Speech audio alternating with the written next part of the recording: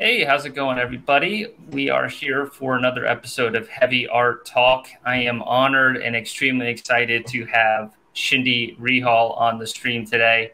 And uh, man, you guys got to check out his work.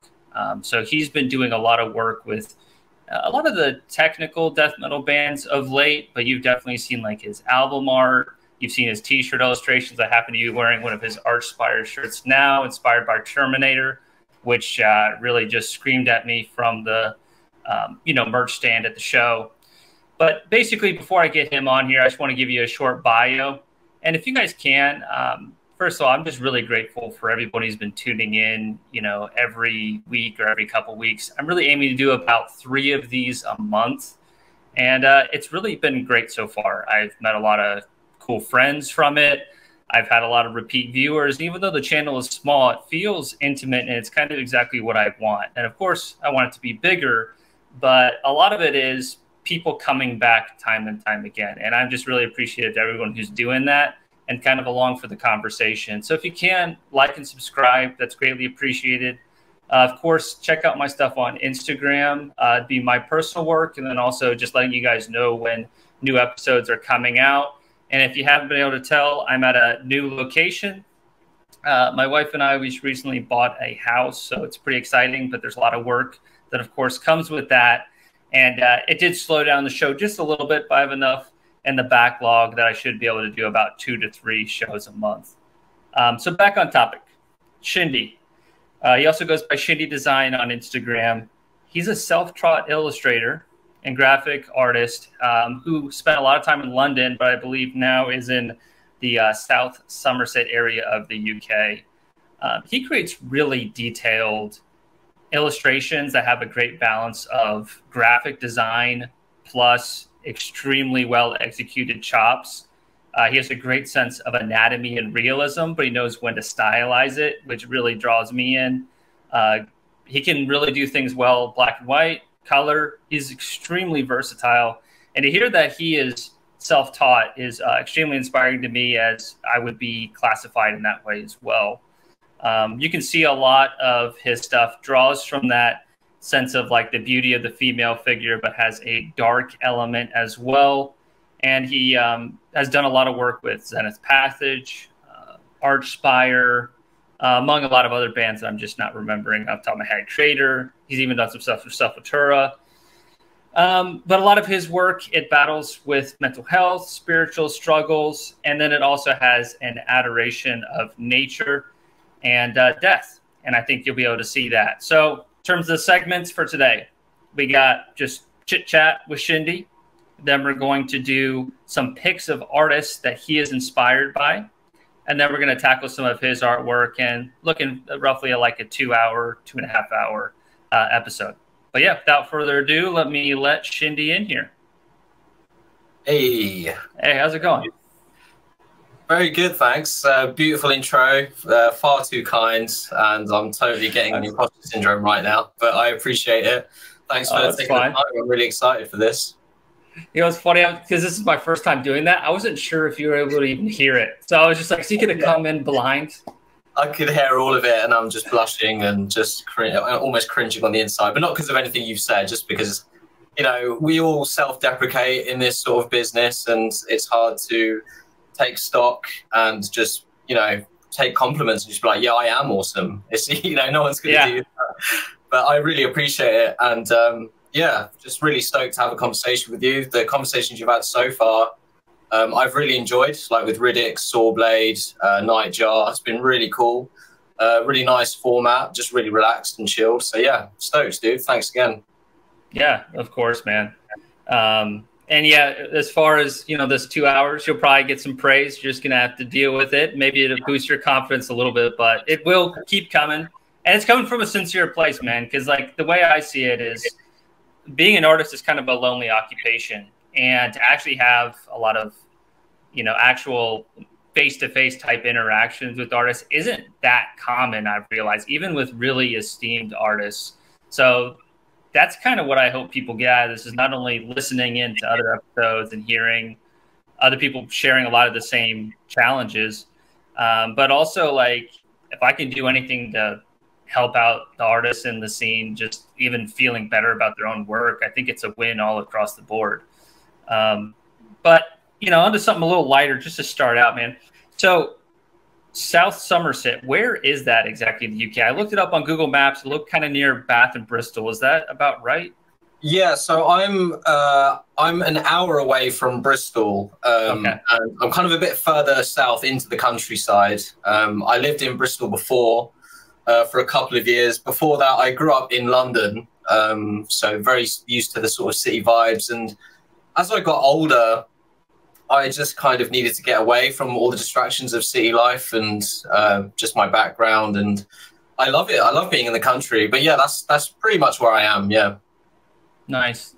Yeah, I um so I've been to the UK once. It was in like 2018. It actually was the uh, trip where I I proposed to my girlfriend, who's now my now wife. But um, I went to London and then I went to Bath. And I went to Bath. I was trying to get something just a little more. I mean, I know it's kind of touristy, but just something a little more Historic. like local oriented and yeah, historic. Hmm. Because yeah, they have the the Roman baths, but yeah, yeah. um, when I looked on the map, I saw that you were kind of close to there, and pretty cool. Yeah, it's nice. It's a nice area. You know, people are just more friendlier. Um, Yeah. and it's just less chaotic. I think you know when you when I was growing up in the city, I kind of felt that maybe I needed the chaos and that I thrived on it, and it was really conducive to what I did as an illustrator. But I actually realized um, it's way more conducive just to have some peace and quiet and just live in a quiet town. It's just my mind is just way more at ease. Um, so I, I don't think I'd ever go back to the city. I, I really do love it in the country now, and so does my partner. She's got family here and everything, so we've kind of made our roots here now. So that's awesome. Nice. Wh- when did you move out Uh, from from London to the country now?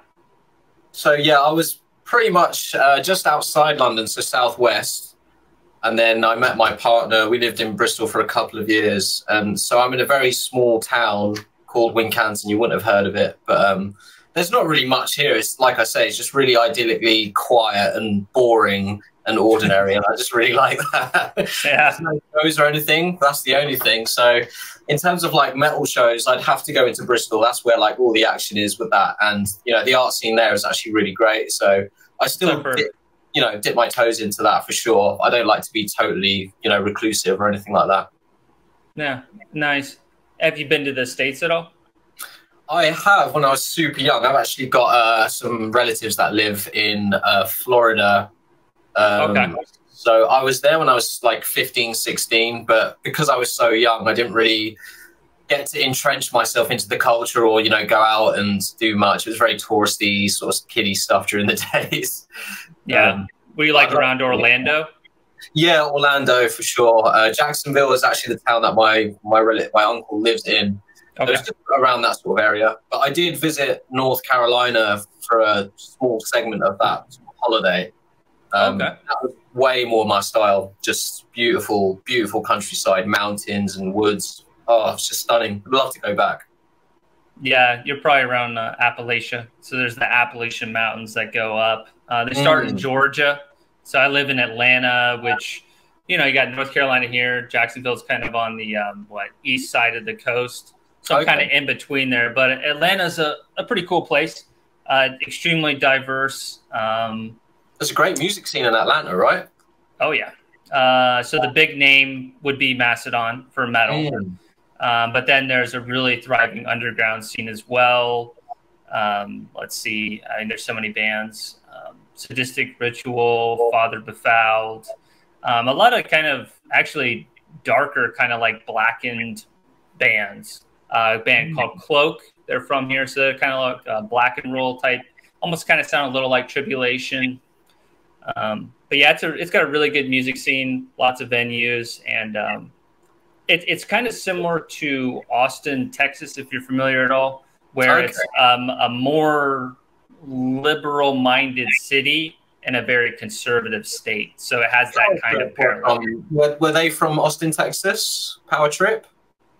Yeah, uh, I'm not sure they were from Austin, but they're definitely Texas. Okay, cool. Yeah.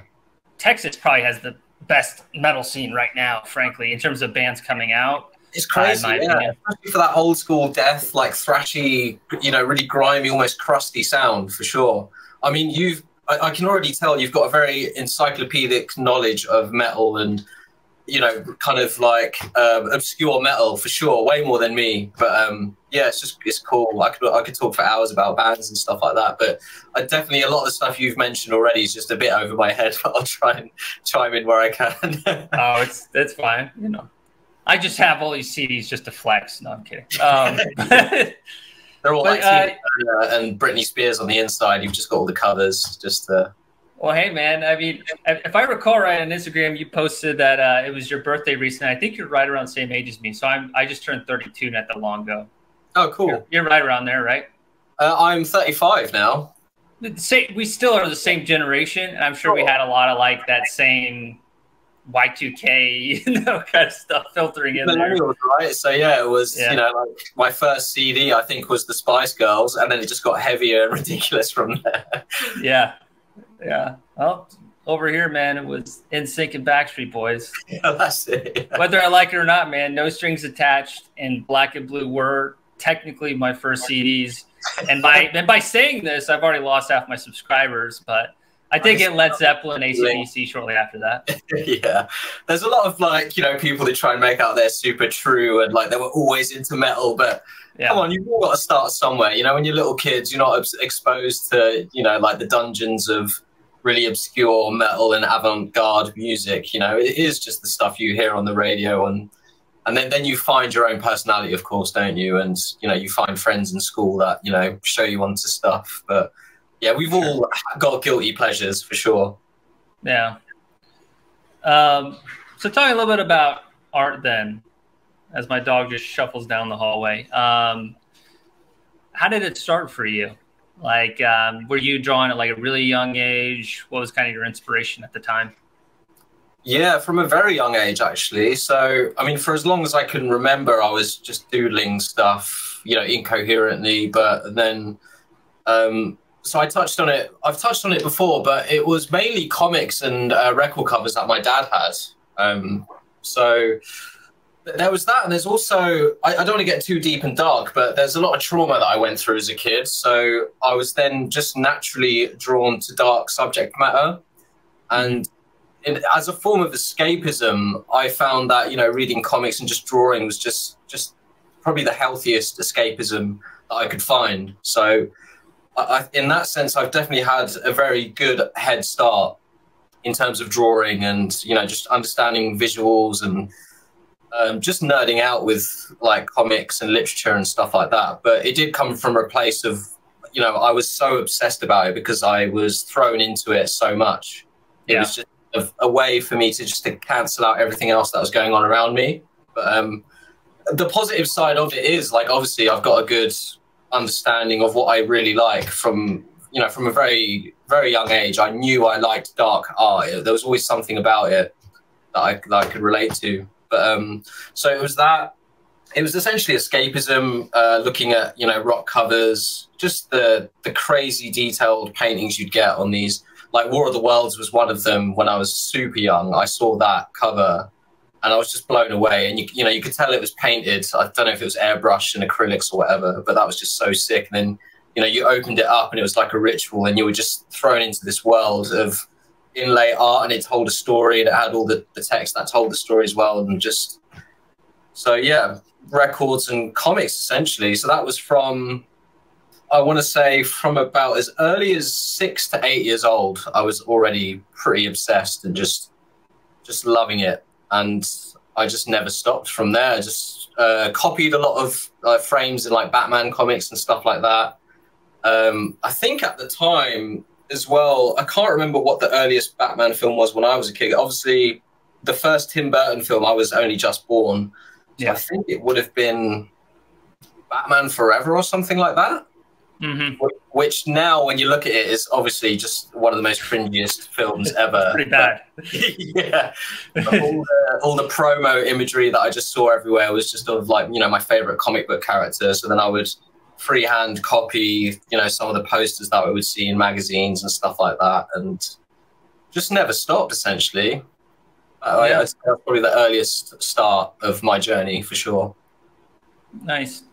And you were talking about War of the Worlds. Um, was that like a movie soundtrack, or was that like the book narrated, or is it an album that I'm maybe not familiar with? So I'm not too. I think it started off as a audio album. I think I'm not too sure. It, it, was like because uh, I recall. Uh, I don't know the exact decade, but basically there was this famous, um, you know, uh, what do you call it? broadcast where hmm. basically somebody was narrating the book and people were hearing it for the first oh, time. Right. But what was happening was this is maybe like the 30s, 40s, somewhere around there.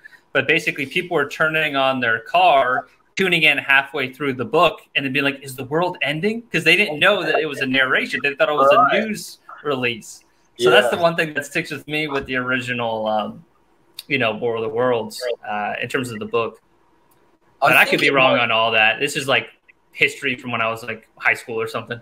Yeah, I mean, I haven't listened to that record in years, but I'm pretty sure there wasn't any dialogue or anything. I think it must have just been the soundtrack, I guess.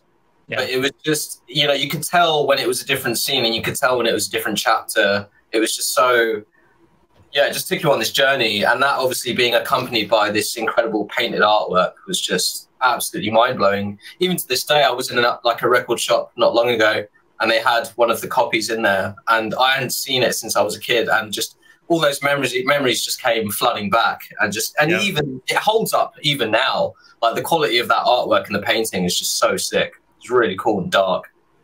That's neat man. I kind of have a similar memory um, yeah.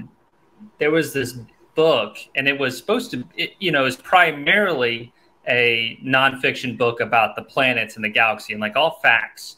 But then there was this end section that was all concept art for what aliens would look like on these different planets. Wow, awesome. And I think Michael Whelan might have done some of those illustrations, but I remember just like skipping all the factual stuff and going immediately to the aliens and being like, yeah. oh, this is so cool. I got to pick up that book. It was pretty well published. Um, I don't remember the, the name of it, but there also were illustrations of the mythological semblances of the uh, planets.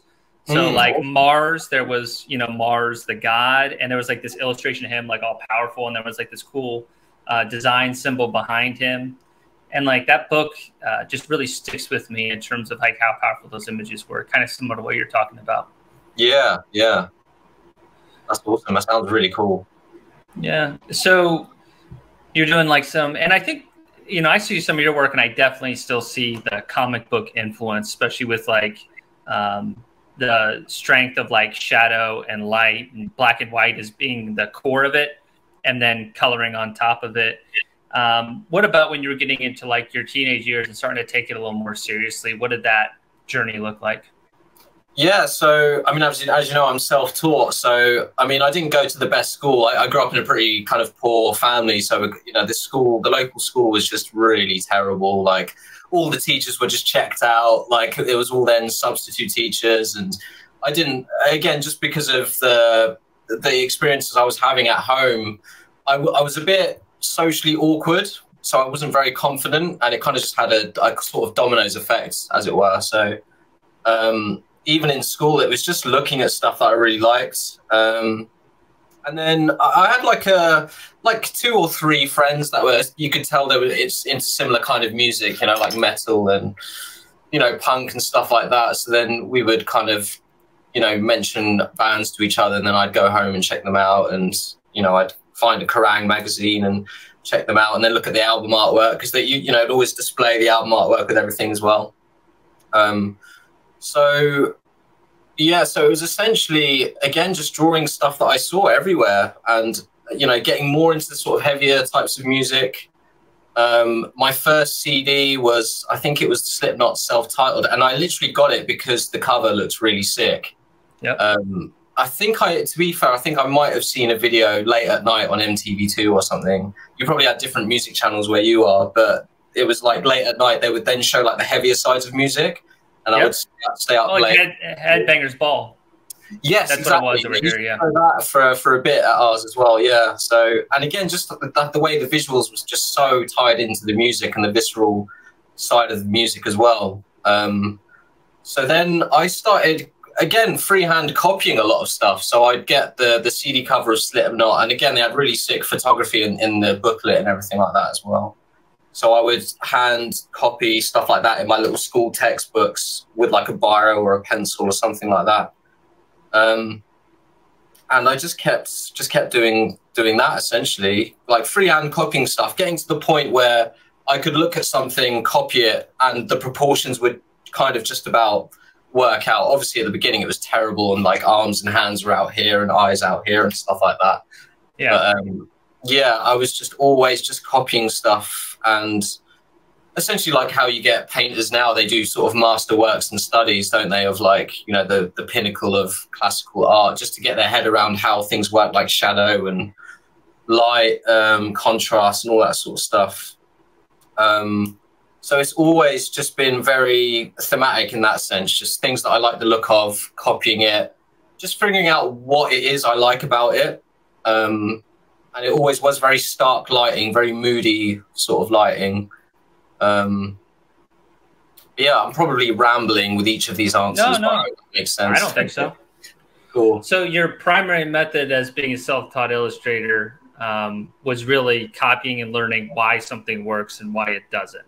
Ultimately. Yeah, is that what I'm hearing? In my teenage years, I mean, once I, you know, once I was drawing kind of clean-ish lines and stuff like that, I've always had a very analytical mind in a way where it's actually quite hard for me to switch off. I mean, even now, I don't think it's ever stopped where I'd be just out and about with my girlfriend and we'd be walking in the woods and I would look at a tree and it wouldn't be like it's just passing. I would be looking at it and analyzing how the light's hitting it and just really zooming in on the details and kind of taking a photograph in my mind of how things yeah. work. And I think I've always had that analytical mind in looking at things and seeing how it works mechanically as well as you know how it actually just looks in terms of light and structure and form and everything like that.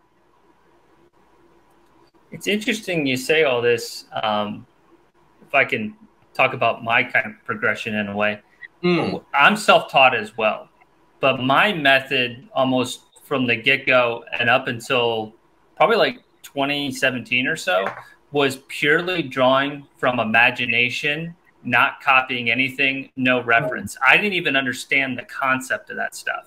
Right. Then I started learning, oh, well, if you want to learn how to draw like realistically and you want to try to draw stuff like this, it is good to analyze all these things and learn these foundations and you know do studies and stuff so i've shifted my approach to be a lot more like what you're describing but for a long time everything was com- i mean of course i'm being absorbed in with all these influences. Mm. But it was all imaginations and coming from doodles and like stream of consciousness. That was like kind of always how I drew until I started being a little more deliberate. So I, I think it's kind of interesting with your style, though, doesn't it? Because I mean, your style's quite uh, abstract and surreal, you know, almost Dali-esque. So I think it lends itself to being very expressive and free, and not having any sort of constraints as to oh, it has to look like this or it has to be in the realm of reality, um, even in terms of color and composition. So I suppose it helps in a way for sure. It, I, it, looking at your work, it looks like it, it almost has to be, um, it has to be free in that sense. Like you can't be confined to, to reference hugely, you know. Yeah.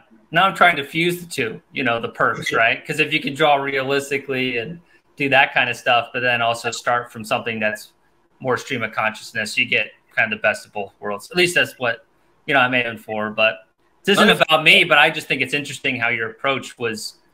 My approach is similar to what you're doing now in that sense. But for a long time, I was completely not aware of what's really going on in the art world. I just like drawing. I was the kid in class who, you know, they'd be like, "Hey, we need somebody to draw this," and I'd be like, "Okay, sure." It's, interesting. Were you that kind of kid whenever the opportunity presented itself? Like there's a group project that involves some kind of drawing? Yeah, I mean, even though I was socially awkward, I was I definitely became the lackey in the schoolroom where you know if, if there was any sort of project and the kids like, oh, we need to draw like a logo for something. Yeah, you know, I'd be that quiet kid where they'd you know they explain to me what what they wanted and I would draw it, thinking, oh my god, they're gonna hate it. It's gonna be so terrible. And you know they were always like quite impressed with it. And then you know, small little increments like that that kept happening kind of built my confidence a bit more.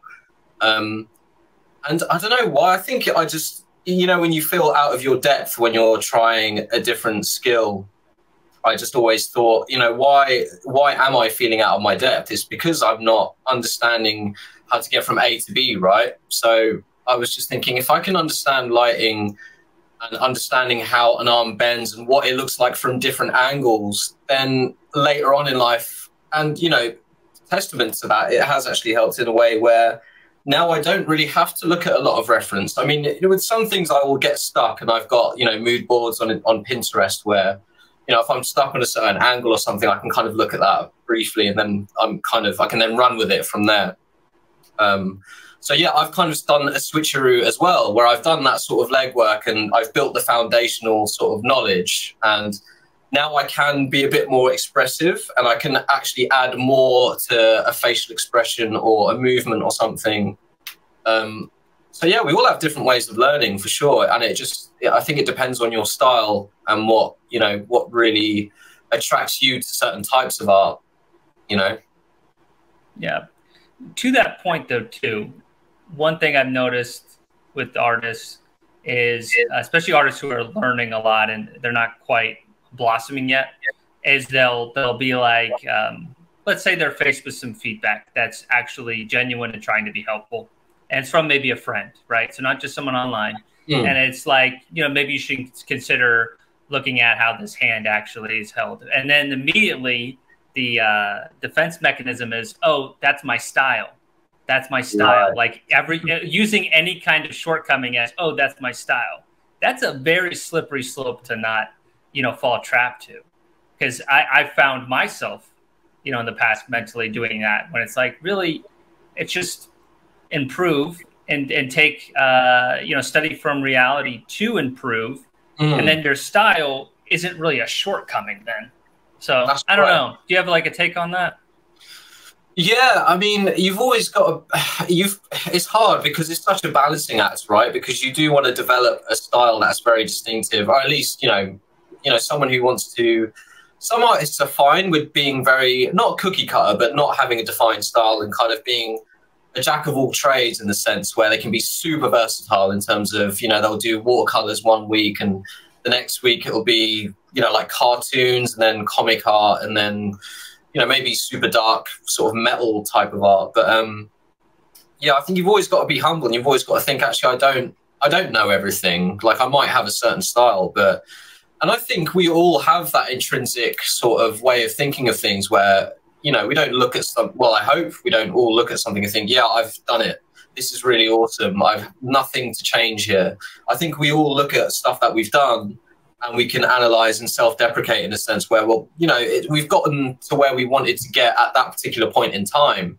But the next time we want to do it, we definitely want to take it a step further.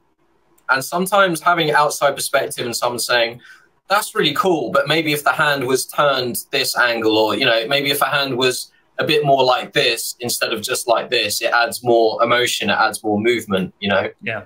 Um, so it's just such a huge balancing act, um, and I think it's just subjective to each person and what again what their style is.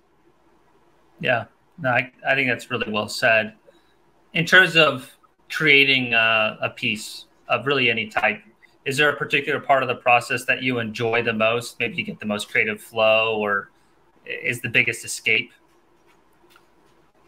Yeah, it's tough because it, it actually changes with every piece. Um, and uh, I was enjoying Sawblade when he was explaining how, like, the preliminary side of things is can can be a bit tiresome. Or I can't remember what stage he was talking about, but so with me, it's like coming up with the idea is really fun, and I usually start off with a very rough sketch, and you know, it's like just very basic sort of shapes, you know, blobs, and there's no definitive lines or anything like that. Um, I find that quite fun, and then the, the penciling side of things, then actually mapping it out for me to ink, I find is the most tedious because I'm so excited about getting to the inking stage that I kind of, you know, I have to really take my time with the penciling stage but then once I'm inking and I've got the lines down and I'm shading and doing my stippling and, and dots and hatching, that's that's the most enjoyable part for me because it just then feels that every stroke it's becoming the final product. You know, every Yeah. you know every part of the body that I'm shading it, then it becomes more complete as I go, and, and you can see it actually developing in front of your eyes. That's definitely my favorite stage for sure. Yeah, I could definitely relate there. Um, do you do you happen to drink coffee at all? No, I, Okay. I used to. I've gone to decaf because, um, man, you just can't, I can't do straight lines when I'm, you know, like buzzing from a, a really strong coffee. ran into that problem this morning. That's why I asked. I was like, because I, Really? 'cause I, Yeah. I was tasked with lines this morning uh, myself, right? And um, man, some really hard curves. And I did, you know, I drank my morning coffee, and like Oh. it was more challenge. I think they turned out fine. I mean, if you look real, real close, they're probably like a, a hair shaky. But that's it's an endless pursuit, right? Trying to get a smooth line is like you never fully, at least in my take, like I never am like fully satisfied. Um, but man, like I, uh, it definitely makes it harder. Man, it just yeah. I mean, so I've gone. I used to be a bit of a drug addict, so I, you, I used to just really neglect art and this whole side of my life, and I've completely turned my life ar- around now, where you know I dedicate a lot of my time, and I'm. I'm at a point now where I won't even go out during the week because I know I'll just be too tired, and then I, you know I won't be able to come out with something really elaborate, detailed, and clean the next day. So I've, you know, I mean, I drink, I still drink beers, but I, I kind of have a bit less of an unhealthy relationship. You know, I can, I can drink a few cans on the weekend, and I'll still, you know, be up bright and early on the Monday and get some work done. But yeah, coffee just makes me, it gives me the shakes, and then it doesn't matter like what music I put on. I'll then take a deep dive into different types of albums and bands, and then two hours have gone by, and I've literally, I've not done anything. I've, you know, I've literally just been faffing around, whatever the American term is for that. yeah. Oh, that's great. Um, I think I agree with what you're saying with like, you know, favorite parts and stuff. I think honestly, my favorite thing right now probably is watercolor painting, uh, even though I don't do it all the time. But I just love that feeling of that first um, layer with watercolor. And I do like a lot of wet on wet stuff. And I, you know, I, I try to learn from a lot of like those watercolor masters that like metal people have no idea about. But like, there's guys like uh, somebody I've really been inspired by is this guy named Andy Evansen, and he's just like a really great landscape watercolor painter. And I don't know how they do watercolors. I mean, I've tried. It's just so. It's just a different. It's a totally Yeah. different world for sure. it's it's a whole different approach, but it, it can help you really value soft edges.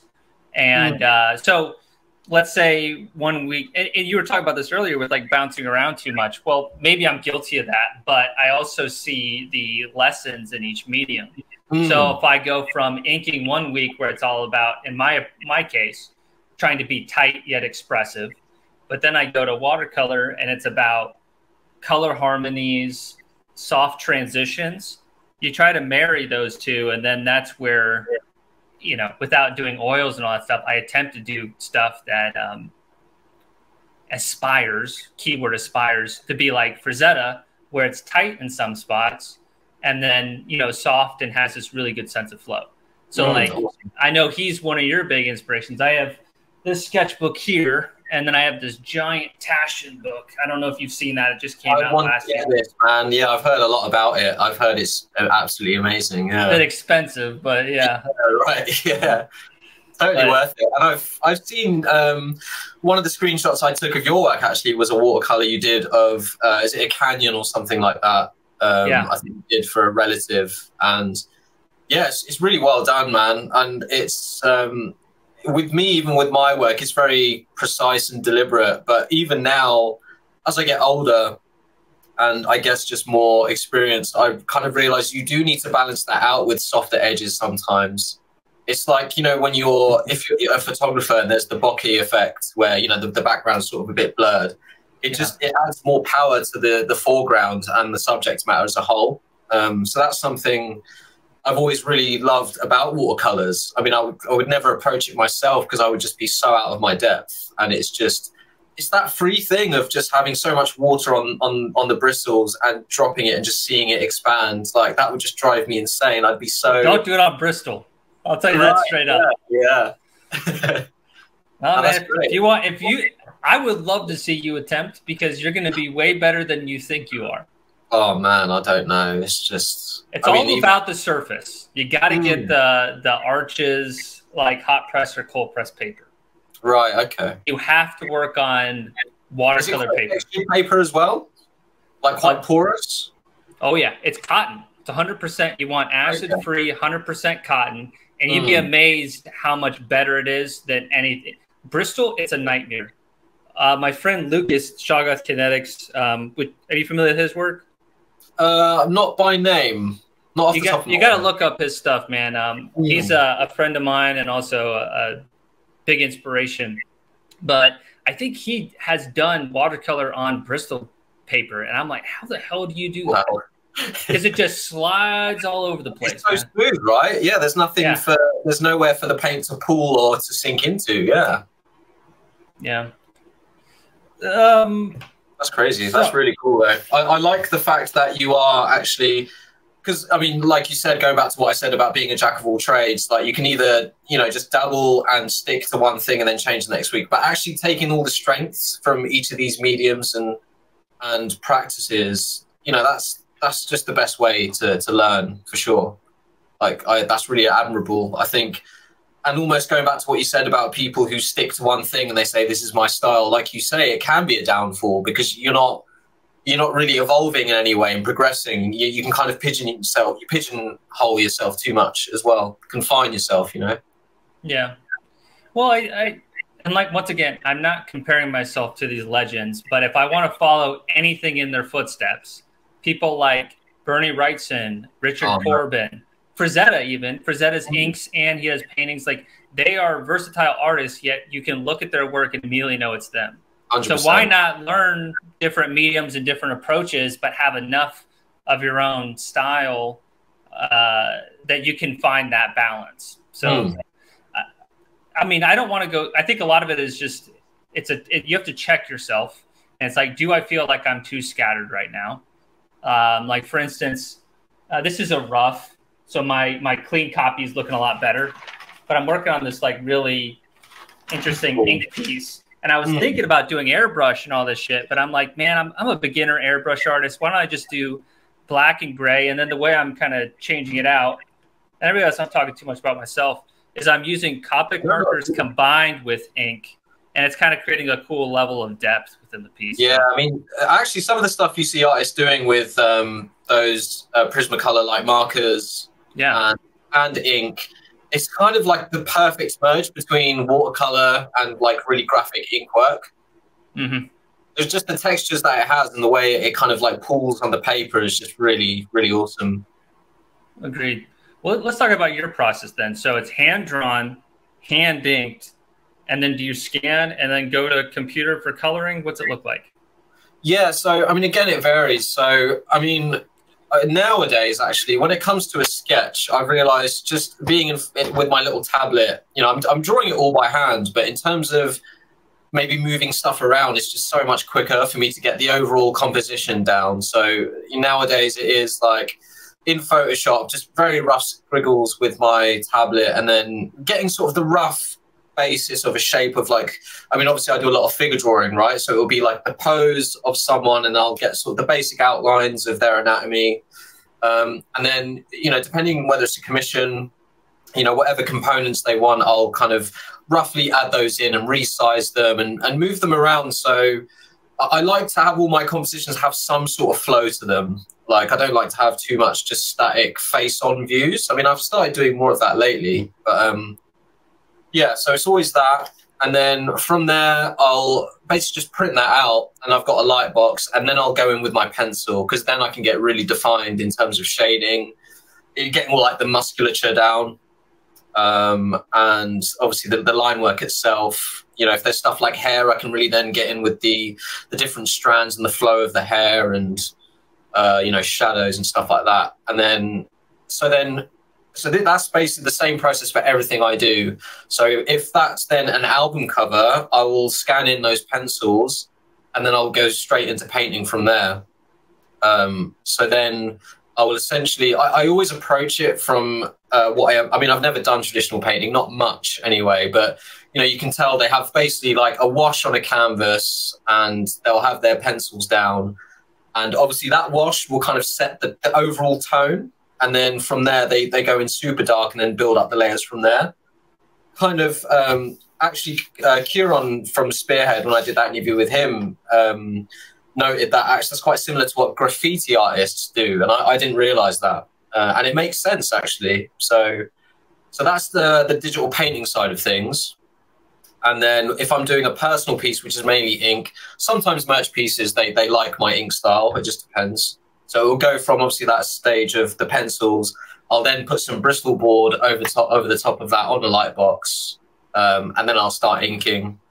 Um, and then yeah, then I'll scan that in and then do digital color essentially. Um, but with that type of work, I like my inks to do most of the legwork actually, kind of, you know, carrying most of the weight of the composition and the shadows and all that sort of stuff. Um, and then the digital color is essentially just adding highlights and just sort of overall, obviously colors, you know, different hues and stuff like that. So that, that's my main process for everything that I do. I mean, you know, I do mainly ink work, but I mean, painting stuff, I've digital painting, I've probably only really been doing for four years, I think, solidly. Um, and I've I just found that's been the best process for for everything for me. Interesting. Yeah, and and and uh, using mostly Photoshop then for the digital program. Yeah, for the painting, yeah, it's always Photoshop. Yeah, um, obviously, like I don't, I used to do logo stuff, but not. I've kind of I've quit doing logos just because I don't really enjoy it as much. So then, then obviously it would be vectorizing stuff in Illustrator, but it's it's mainly all Photoshop now. Yeah. Yeah. And then, what was I have two questions. So you're talking about anatomy.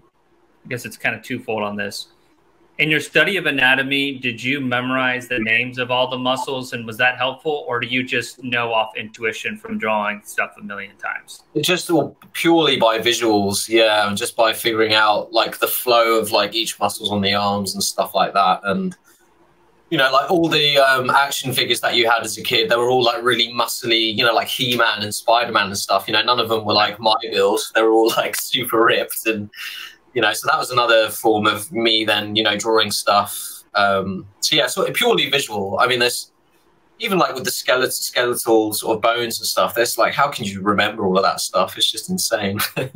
yeah. Well, I, I haven't gone about doing it. I just, I know at like some atelier academies and stuff, they teach all the muscles because, or the bones, because it's like helpful just to remember to not forget that piece when you're mm. going in there. But I mean, it's I, I do it intuitively as well. Um, I still need to use reference more often than you do because I think you have a lot more figure drawing practice than me, uh, mm. which is awesome. But uh, what, what piece of the figure or face do you find the most challenging? Like feet, nose, lips? You know, what's kind of hard uh, every time, just a little bit?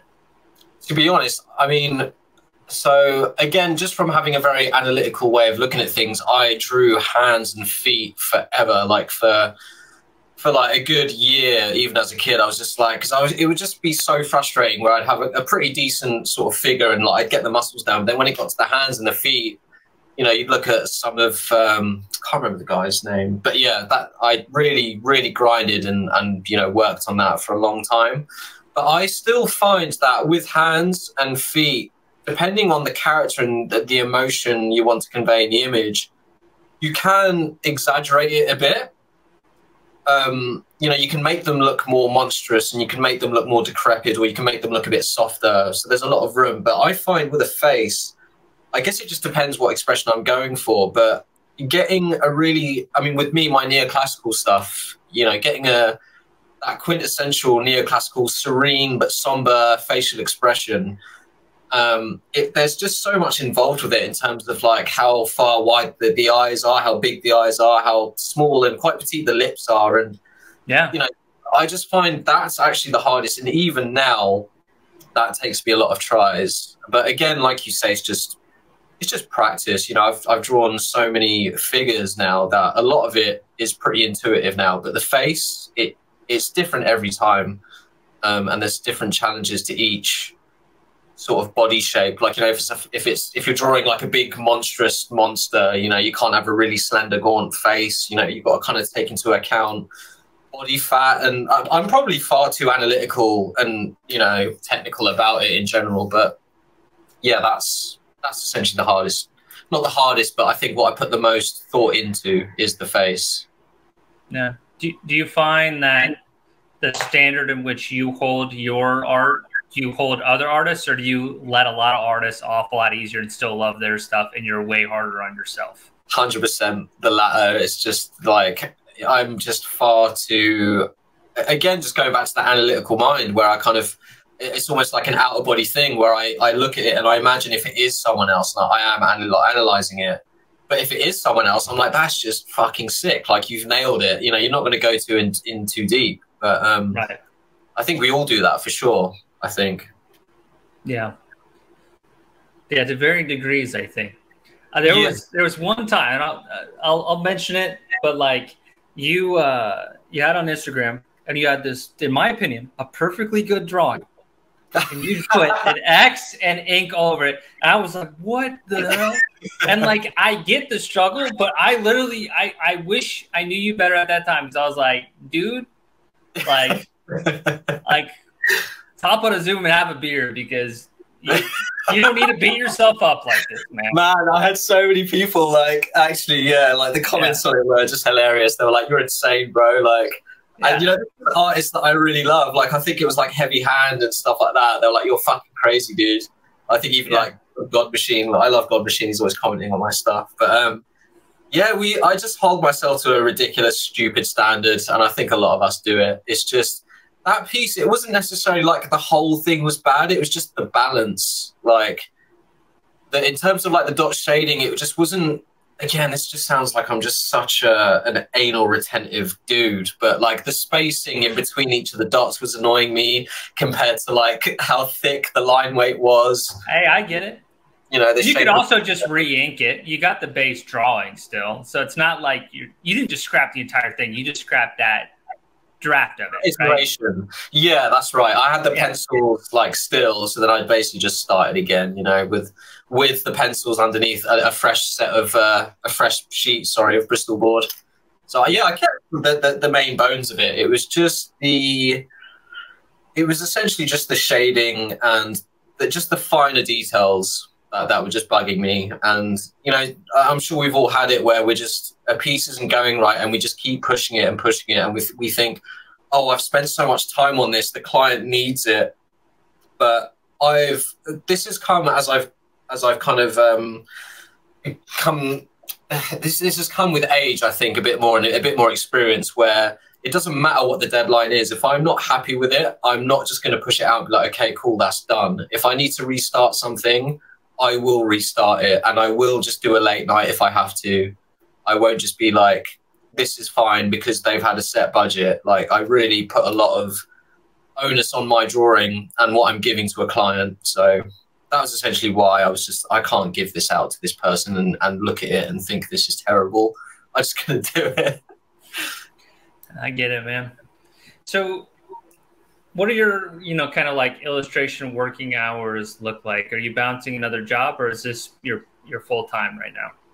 I'm full time now uh, and i have been for how many years man? Um, i think three to four years now i've been full time uh, before that i've worked every job under the sun. I was a forklift driver. I was a bin man like taking out the trash um, I was uh, yeah working in like cheese factories and everything. So I was I was doing that for like you know forty hours a week, coming home in the evening, working on a commission or or just drawing something. You know, just trying to kind of build up my own style, and then working on the weekends, uh, building that up, and I kind of just got to that tipping point. Um, and yeah, so I've been full time for four years, and my hours. I'm, I'm quite an early bird. I actually really like getting up like early. I take my dog for a walk, and then try to finish around you know five six o'clock. You know, some days I'll start at nine and finish maybe at like seven or something like that. But generally speaking, I, I like to treat it as a nine to five, not in a corporate, you know, like requirement sense, but just in terms of hours where I know I can then get rested yeah. enough for the next day. That's really good, man. It takes a lot of discipline. So, was there like a moment of a leap of faith to do it full time, or 100%. was it more like a subtle train? Yes.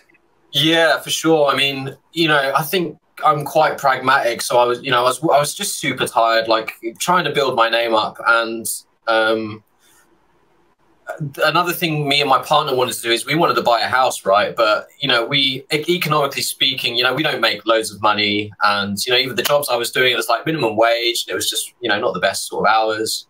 So, you know, we've not got any inheritance coming. We don't have any well-to-do parents, so we would have to just build everything ourselves in that sense. So we actually decided to move into a caravan and live on a field for a few years, and we did exactly that. So all our overheads were just totally like really scaled down where it was manageable so that I could build my business, but also so that we could save up, you know, for a deposit on a home. Um, and so with that, I think it allowed me to just really risk everything and just jump in with both feet. I don't think I would I would just be exhausted if I carried on trying to do it while trying to keep an you know eight hour a day job. I just don't think I would ever get to the point where I would feel I could just jump in with both feet. You know, I think I did have to just quit that, really scale down all my overheads and everything, and just think this is it now. You know, I am going to be a full time artist, and even though it will take maybe a few months to a year for me to get to the point where I'm earning enough to survive and pay the bills. The fact that it, we were just in a van on a field just allowed me that room, you know. So that was, yeah, definitely a lot of risk and just jumping in for sure. That's awesome to hear, man. And things happened after that where we got kicked off that land by um, the landlord, and we then had to spend all our savings on then basically deposits and thing. Anyway, so we're back to square one on getting a house, but my business is built up at least, so I'm still still full time and able to rent a house, which is nice. But yeah, it's taken a lot of discipline, like you say. You know, really just making sure I'm healthy enough and rested enough to do what I need to do and just grinding hard, man. Like there is no lazy days. There is no like, oh, I'll get to this later. It's just like grind, grind, grind, you know? That's so cool. Uh, looking at my thing here. You don't, I, I don't have any follow-up questions there. I mean, just from my perspective. So I'm currently doing what you used to do, right? So I have mm. a full time job, and I'm doing all the drawing in the evenings and then during the weekends. And yeah, it's it's tricky because I feel like I'm not getting enough work done to, um, you know, develop a really solid portfolio. But mm. I'm also not that point of taking the leap either. So it's it's interesting in all these interviews that I've I've had where even these really big artists that um, you know we hold up here, some of them still are doing a full time job because it affords them in America at least, you know, health insurance, some stability. Right. So it's I feel like it's it's always been hard to be a full time artist, but um, it, it, it every decade and every year has its own challenges. But uh, making yeah, that decision sure. is is very difficult. Hundred percent, dude. And you know, at the moment, you know, the economy isn't great. You know, like things are just so much more expensive. Yeah.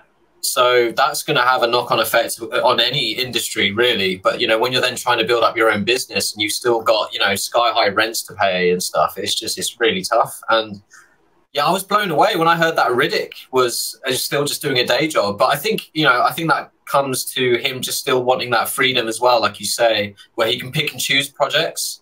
Um, and also then he's not struggling and he's not worrying about stuff at the end of the month. You know, I, I do sometimes miss that, but again, I think I, you know, I got to the point where, yes, it was a risk, but I knew that I had, say, you know, one project a week at least to, to work and get paid for, you know. So, but, you know, if I was still renting uh, like an apartment at that point, I, I would be a lot further down the line. I probably would only just now be doing it full time, you know. So it just depends on your situation and how how much you can risk, you know. Yeah when you were in that still working and then doing some commission, did you have to turn people away? Like were there growing pains? And then you basically had a, a bit of a well that you had to fill up. So when you did end up going full time, was it a bit dry at first? But then you were when you were working, you almost had too many projects, but not enough. Like it's that it's that give and take. Am I kind of articulating that right? Yeah, I, I see what you mean. Yeah, so I was just spreading myself far too thin. I mean, I was quite lucky that people sought me out um, just through friends of friends, and you know, I started off with smaller sort of hardcore bands and stuff like that. Um, so you know, budgets aren't great just for the fact by virtue of everything being quite DIY. Um, so I, I, at the beginning I was just spreading myself far too thin. Like things were like always coming in, but I was like, man, I wasn't necessarily turning people away, but I probably should have because then I wouldn't have been so burnt out.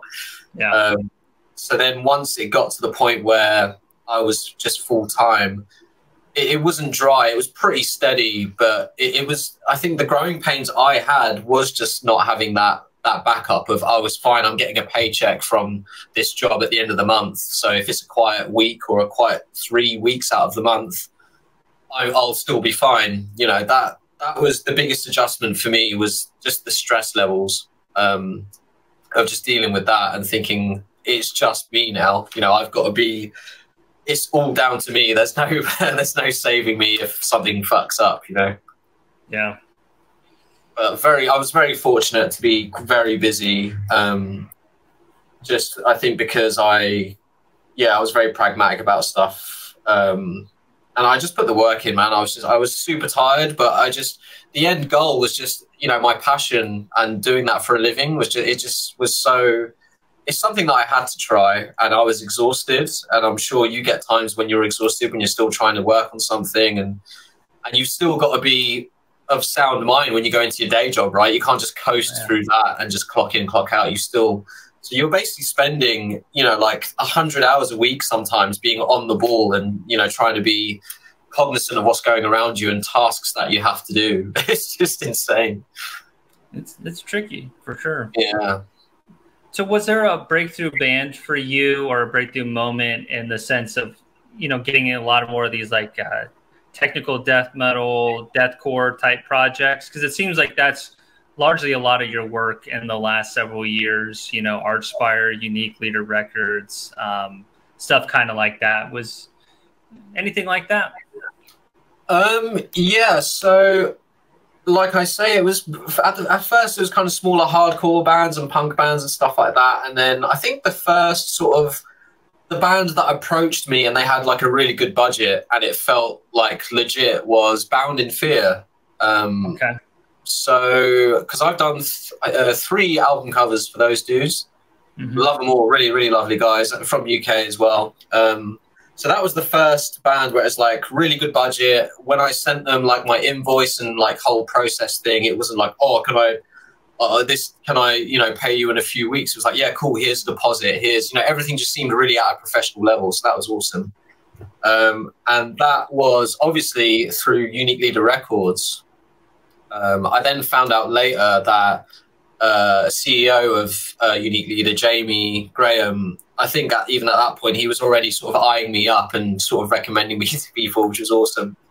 So yeah, that was the first sort of breakout band in the sense of this is more than just some you know local band. You know, this is like. You know, they're touring.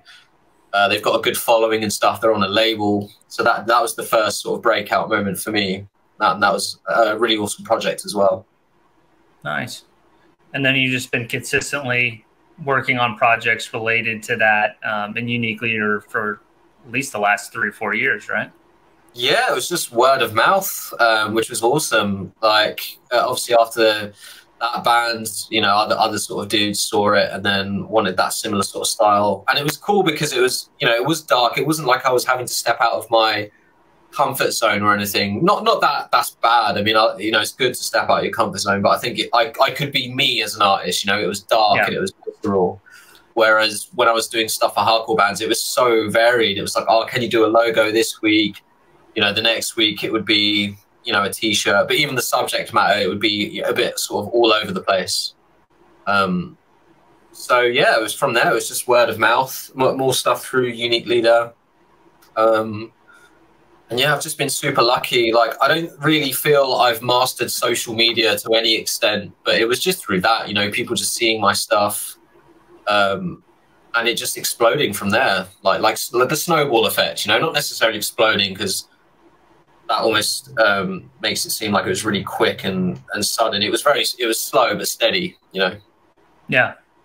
Yeah, I, I could definitely tell it like picked up, but I know what you mean. It's not mm. like you've made it. You're still to keep climbing. Yeah, for sure. But yeah, there wasn't this, you know, viral moment or anything like that. But no.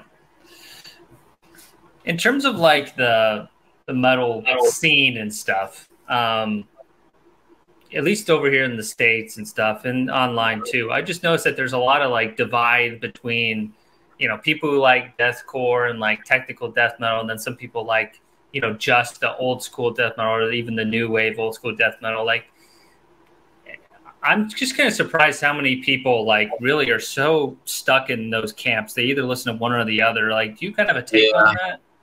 Yeah, it's it's so common, dude, and it's like even though a lot of the commissions I get are tech death and deathcore, like you know, that's not necessarily even my favorite genre, really. I listen to lots of different stuff. I mean, I started off like a hardcore kid. It was like, you know, Misfits, Cro-Mags, stuff like that. Um, and then like, you know, sort of the more grittier, almost crusty, sort of full of hell um, bands like that. Doom, Primitive Man, um, Portrayal of Guilt, and just like a whole myriad of different sort of bands. And obviously Tech Death as well. I just love the, the technical proficiency of it. Um, I dabble in music myself as well. It's very sort of like it's not not really worth shouting about or anything, but I've always played guitar and I just I've always loved all different types of guitar driven music and heavy music. And it, yeah, it frustrates me how elitist people can be.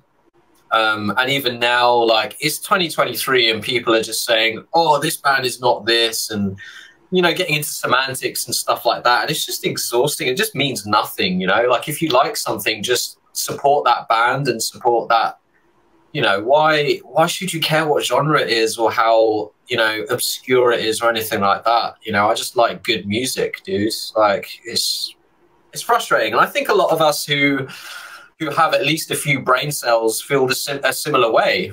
You know we we look at the music that we love and we think you know you couldn't have this band play with this band live but i still love them both equally.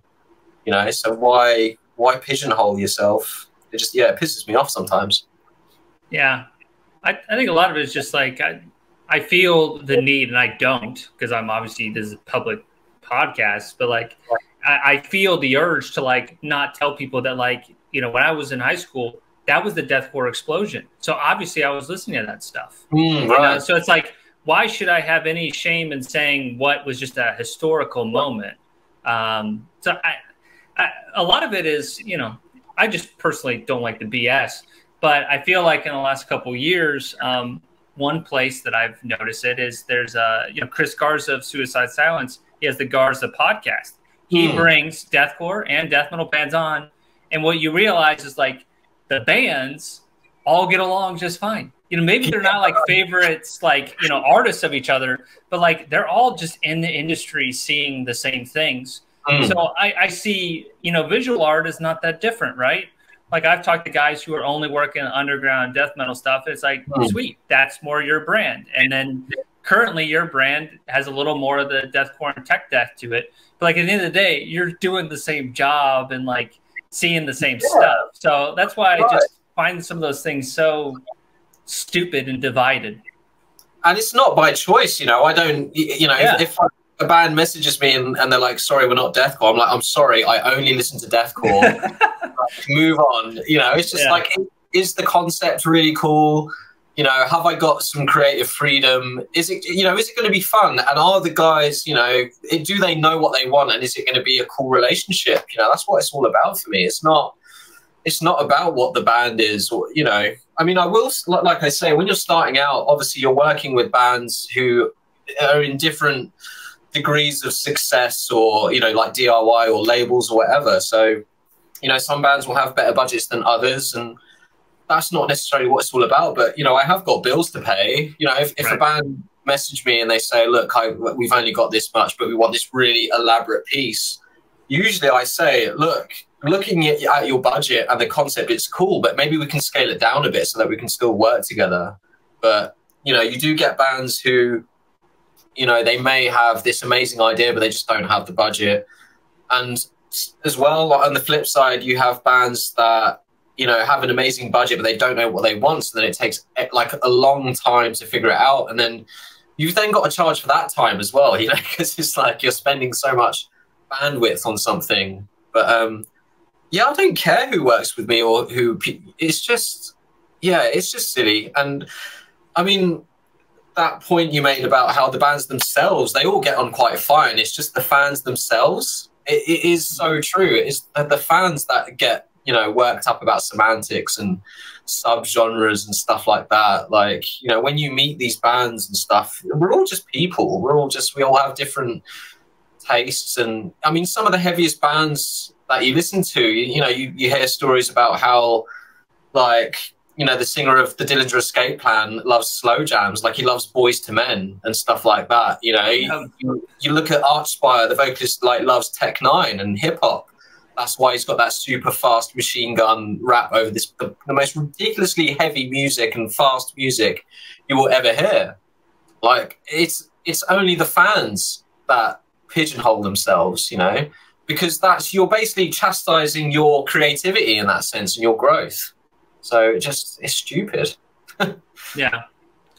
And I think we both could agree too. If you like what you like and you don't like what you don't like, that's fine too. Absolutely fine. It's just yeah. it's just like why further the divide and make people mm. feel guilty for what they like. That's my yeah. broadest point. I'm not saying yeah. everybody has to like deathcore because if if you find it too highly produced and you don't like that sound, I I'm not going to try to sell you on the fact that it's worth merit. But mm. I, I do find that all the interviews I watch um, especially like I say, like I'm shouting out like Garza podcast. I mean, it's a very good weekly podcast, man. They've had Devourment, they had uh, Signs of the Swarm on recently, and um, you know, I mean, I like Devourment a lot, but like Signs of the Swarm guys are hilarious, you know, and like it's yeah, just it's just yeah. good good humor. It's like hanging out. So um, I think learning more about the people behind the bands and the artists behind the artists, it's uh, I think it's something that's going to help it be sustainable in the long term because then you're more emotionally invested to support these people. Because, mm. and I don't want to get too dramatic about it, but like AI art does not have a face.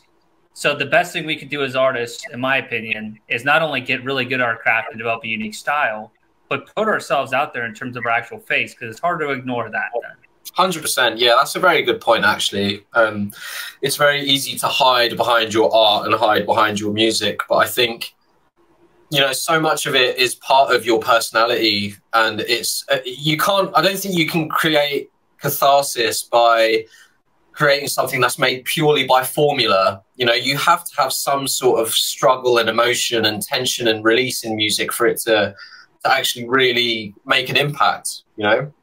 It's a very good um, caption from Simon Pegg. I don't know if you know, he's a British actor. He did Shaun of the Dead. Um, oh yeah, all of that sort of stuff. So uh, I think he was like being interviewed on TV, and they were asking him about you know the writers' uh, protest in Hollywood, um, and he was like, "Yeah, I totally get it." And he was saying how um, you know AI it doesn't have struggle. It, it, you know it didn't have his girlfriend break up with him and then create you know this masterpiece of writing because there was real innate struggle and emotion and trauma involved. You know in this in this in this work and even with my work, you know, like I've not I've not touched on it a lot, but it does come from trauma that I've experienced. Now that's why I draw dark stuff. It's not because I romanticize the idea of demons and blood and gore. It's um, it's coming from a coming from a vulnerable, visceral place, you know.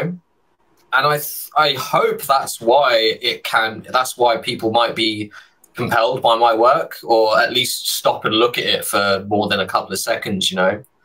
If it's made, I mean, I don't want to go too deep into AI because I think we could go on for hours, and it just, I don't have time for it. You know, people I won't have a go at people for using it if they just want to use it for a wallpaper or whatever. But you know, that it's just it, it, again, it's another very divisive topic. You know, people see it as this really, um, like pure thing. It's like oh, it's like consciousness, but you know, in in technology, and you know, we should we should you know you know mother it.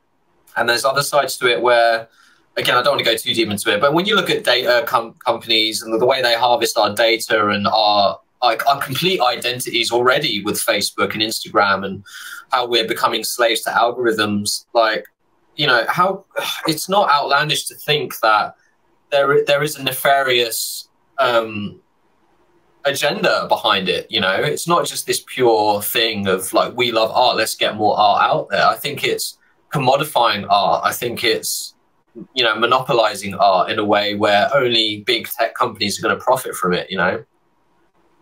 Yeah, I mean, hundred percent. And and whether you like it or not, or you support it or you don't, I still find it as competition. So mm. I have to do what I can to uh, compete. And the way to be compute is to be more human and actually, like, yeah, like I said, put put your face out there.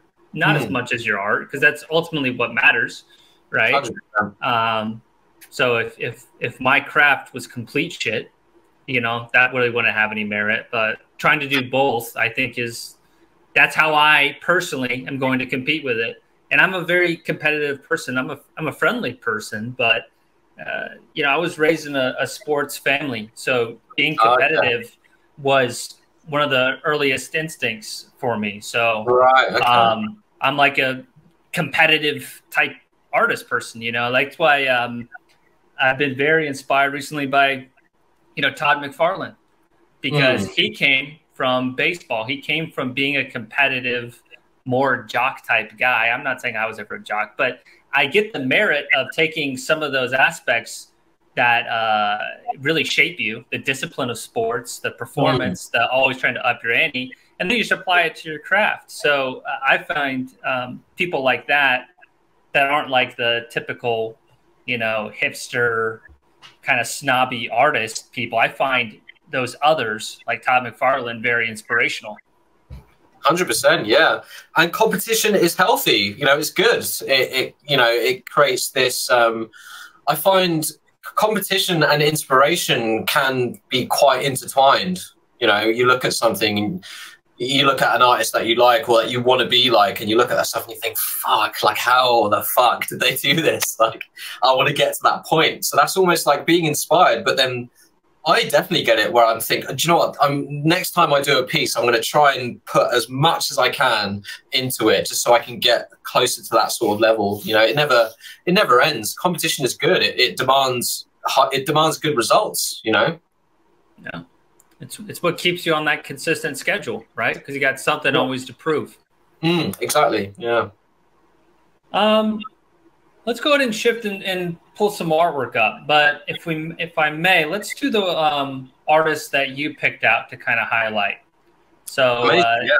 basically, a couple days ago, I hit up Shindy and I was like, "Hey, um, something I think would be cool to do in the segments going forward is, you know, not only just talking about your own art, but art that inspires you and why you like it. So we have about, I think, five images. I'm going to pull those up here and I need to backtrack a little bit. But we have Aaron Horkey, who's a contemporary illustrator. He's up first. Um, and then we have Frank Frazetta, who is an inspiration to pretty much all of us, which is cool because everyone has a different take on why they like his work. But just starting sure. out, uh, tell me a little bit about, you know, why this piece moves you. I mean, to be honest, it was quite hard finding just decent resolution images of Aaron Horkey's work. There's a lot of like photos and photography of his work. Um, yeah. But um, and also before we start, I just want to say it was really tough, even just thinking of two. Like I'm inspired by so many different artists. I mean, you mentioned uh, Bernie Wrightson. He's a I'm a huge fan of his painting and his inking. Uh, Simon Bisley, oh, yeah. uh, Glenn Glenn Fabry. I don't know if you hear him. He's a UK artist. He did a lot of um, the Preacher cover artwork. I'm not familiar with him. Oh, he's amazing. You should check him out. Um, and obviously, like Hawker, uh, Horkey, sorry, Frazer Irving is another one. I've literally made a list because I didn't want to forget like the amount of artists that I love. Mm-hmm. But um, they're more sort of obviously contemporary, like you know, current types of artists. I could go on for ages about classical artists, but um, Yeah, Aaron Horkey, this piece is uh, it's just the flow of it all, like the leaves and just you know, I could just stare at his work for hours on end. Like he's in terms of an inking artist and graphic artist, he is just perfect in my opinion. Yeah. Like his, his balance of light and shadows. I mean, he knows when to just really just do fill out blacks. I mean, if you look at the foot and the grass and you know, all the blades of grass and everything, and it just all has that dynamic flow to it and power and just yeah, everything's moving in the same direction. Yeah, right. Yeah, and it's just dynamic as well. It's not like you know you've got these leaves that jutter out and kind of break it up a bit to make it more dynamic. Um, but his just understanding of just shadow and nature and how nature actually flows in a chaotic but you know flowful way. It's just he just baffles me. He's just one of my definitely biggest inspiration in, in inspirations in terms of contemporary current um, graphic artists. Hundred percent, man. He uh, so the band Wayfarer, they just announced a new album, and he did the album artwork for it as purely lettering and typography. Mm. His typography is oh, next man. level, dude. Because that's the kind of stuff that I I can't do at all. Mm. I'm just I mean I'm blown by all his work, but I it's like I could. It's easier for me to fathom doing something like this than doing anything with letter forms. Yeah, sure. Um, but he's he's just remarkable, man, and uh, he's got such a good hand for for hatching and texture. Like mm. those, it really uh, creatively formed cloud shapes in the back. Like all yeah. those just very small um, hatching strokes really adds a nice texture. And and then you even see some expressiveness, right? Like if you look on that left side, look at that little, um, you know, kind of maroon stroke right there. Right, That's exactly. Right in the sky, like like. Mm. That's a nice, delicate touch that kind of um, it keeps it from being too stiff, which that's what's amazing is oftentimes there's a balance between something being too detailed and then it can be stiff. He never runs into that problem. Yeah. Again, it goes back to what I said before about, you know, having a, a background which doesn't distract, you know, it actually brings more power to the foreground and the, the actual, the centerpiece of the artwork, as it were. Um, just the atmosphere he has in his pieces. I mean, you know, like the, the, the, amount of space the clouds in the background actually takes up is almost half of this image, right? But yeah, the other half is just so detailed and stark.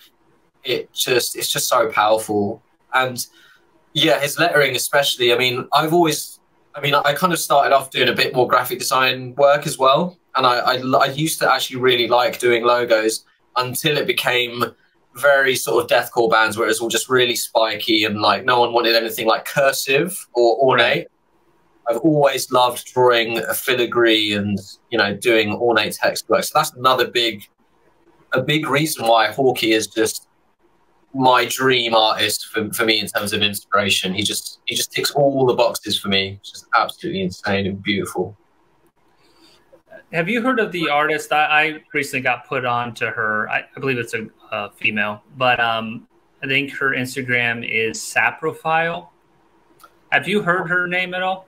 I've not heard the name, but I think I, you would love it, man. If you showed me the work, I might recognize it. There's just obviously so many people you follow on Instagram. Sometimes it's hard to keep track. Um, she's she's kind of coming out more now. I mean, I'm sure she's been drawing for a long time, but she did. Mm -hmm. uh, let me see if I can find it real quick. Uh, I got all my metal yeah, covers here. Uh, speed H's, but she did the newest Hammers of Misfortune cover.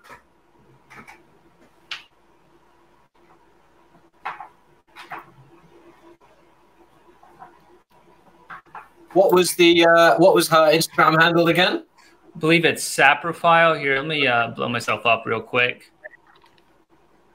But you see that and all that texture? So she did oh, pen and ink, and then uh, I believe digitally colored. But man, there's so much oh, detail, and it kind of reminds me of uh, Final Fantasy X Sin in terms of, like the concept. Yeah, that's crazy, dude. That's really sick, and it actually reminds me of some of Horkey's stuff as well. Exactly. That's why I see a little bit of similarity. A lot in the uh, the hatching techniques and uh, mm. subtlety. But um, definitely check out her work. I want to have her on the show. I want to have Aaron on the show. I haven't reached out to either of them, but uh, if for some reason they're hearing it, uh, I'd love to have both of you guys on. Yeah, really sick. Really sick. Then we got two more here. Um, one of the things with the presentation mode is unless you really, you know, if you're on a desktop, you can see these things better. But please check out the artwork on their website or Instagram. But you know, the level of detail is kind of hard to capture in this setting. Yeah, yeah. Tell me about these two here. Um, so again, it's just that balance of really stark but really open in a really weird way. I mean, in, in, a way you wouldn't think it, you know. And I think a lot of that. I mean, with the first image on the left, I'm not sure of the names of all of these pieces. It's hard to keep track. But um, I think he must lighten it. I, I guess he must then scan it in and lasso it out, and then actually lighten the actual hue of the ink to, to kind of create that separation or it's just really thin. But um, just the detail, man, just the sheer amount of detail. But you can see every single blade of grass. You can see where everything starts and ends. It's not like this. It's chaotic, but it's just so precise and deliberate. It's just it just boggles my mind every time. Um, and again, in terms of inking, just super ins inspirational for me. Like I want, I want every line to similarly have just it's everything flows together. You know, it's not like I'm sure it is random when you really zoom in, but if you look at just the corners of the head of this owl creature here and the way it all fans out to the side of the head and you know with the wings and everything everything just has flow he always has these really long sort of tails of mm-hmm. like even if it's like string or something like that, like really impossibly long, smooth lines, just as a massive flex of how much of a yeah. oh man. Cool. Um, and the snake piece, I mean, where do you begin, man? It's just so again detailed, but stark, and the contrast is just perfect. You can see everything. I'm pretty sure it's probably only maybe three colors max if it was a screen. Um, you obviously see the white highlights in the bottle uh, and the string and the cork, but man, just the sheer amount of detail is just, and his, his understanding of texture as well is just insane. And form, man. That's the thing. You, a lot of yeah. people have texture, but the sense that he can have the form and the three dimensional, you know, shading and lighting uh, on it is incredible. Like the the sharpness of that spine of the snake mm like man it's just it's such a strong element. Because if it was just round which my my temptation if i was drawing it would be just a round snake. But the fact that he has a little bit of that edge man it just adds so much. On the left there you know everything's stylized yet has you know those foundations in realism i love the slanted horizon line um, just it, it creates a element of chaos and beauty. The negative uh, space within the piece, so it's easy to read, like you were talking about, the form of the clouds, mm. and the hmm. fact that you know he's not just a one trick pony. He drew clouds this way in this one, and completely different in this way. You know, right, yeah. It's he has a whole world of shape language that's unique to his. So, yeah, it always lends itself to the piece. You know, it's just he, he'll adapt different types of shapes to the piece to add more power to it, you know. Um, yeah. Just you know that it, just the owl's face, the way it's just all negative space, it's just so creepy mm-hmm. and beautiful at the same time. Like he just really has this, just this perfect balance of open space, which gives more power to that detail and the hatching that he does. It's just absolutely baffling. Yeah, unreal let's shift to uh, Frazetta. The godfather of fantasy art, right? I mean, yeah, everyone knows this dude. It's Like, how could you not? And again, just you know, some of the the books and covers and stuff that my dad had, you would see paintings like this. And I think um, I even saw a book on uh, is it Boris Vallejo or Vallejo? Vallejo, yeah. Um, even his stuff as well, just really like beautifully painted bodies, like the anatomy and oh, almost photorealistic at points. But what I love about Frazetta is again, it's it's really expressive and it all has so so much flow to it. Um, he knows when to just really fill things out really deeply, and then I mean, um, the left piece. I mean, maybe not everyone can see it, but you've got these like really kind of ghoulish characters in the background, kind of in the mist Like you've got this yep. weird bird character and this weird sort of sloth and just a hand and a wing, and it's just just so just insane. Like the attention to space and atmosphere, and then contrasting that with just a really deeply dark, stark figure in the foreground with this strength really, of that pose, man. Yeah, man. Like the, the back muscles and everything, and the, the, the spine and the way it, it flows out into the foreground with the tail and the water, and oh, it's just so insane, man. And and obviously his quintessential sort of cat-faced, voluptuous ladies, but again the lighting, yeah, just so beautiful, man. The flow and everything is just perfect, man. His color, his sense of color, and just atmosphere is just insane and he, he lets the values do the work you know like i mean mm. he definitely has a great eye for color but to me everything is all about the values and just such confident decisions man every, mm. every frazetta piece has it just oozes confidence 100%. Like, i don't know you know it's it's hard to really define that but i find in terms of most confident artists in my opinion i think frazetta and wrightson every stroke completely deliberate, like just. I mean, I, will like try doing studies of of Wrightson, man, and every time I do them, like they're they're decent. Uh, people who are maybe not artists, they'd be like, "Oh, this that's pretty much identical," but I know the strength of the strokes that Wrightson has versus what I'm doing, and it's yeah. like a whole nother level, which is good to aspire to. But man, I just I just see it, you know. Hundred percent, man. Yeah, and again, like when I was, you know, when I was younger and I was copying these sort of like these, you know, master works. Like, well, they are master works, but um, yeah, like you can't replicate that confidence. You know, you do a line, a hatch, and you can tell when you've literally you've pushed all the way through, as opposed to having a base point and actually just flicking off with confidence. You know. Yep. Like having that sort of tail end to, to a hatching line or something like that. Um, and yeah, like it's really when you look at Frazetta's compositions, they're actually really simple, right? It's two characters and a background, but just the the dynamic that he can include in it is just. I mean, look, look at the right hand piece. It's just you know this woman and a panther and a background, but just the way he's pulled in the foreground with this weird vine branch and the way he's got mist behind the Panther, just so that the, the, the, Black Panther has just got so much more power to it, you know? Um, that's something I think I still need to get better at is atmosphere in my work and, you know, not making everything. Again, I'm just being really self analytical, but yeah, that space, you know, like giving space to the foreground, middle ground, and background is just you know, I don't need to fill in everything, every little, you know, square inch of a piece. I'm getting, for sure, I'm getting, I'm actively thinking about it more now. Um, yeah.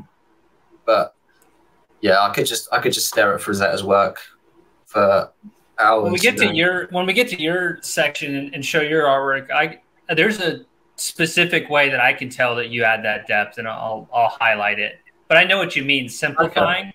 Mm. Like that that's really what you're honing in on. But um, I think you you you definitely have a good way of doing it. But as far as it could be improved, I'm if you see it, I'm sure I'll see it when you accomplish it.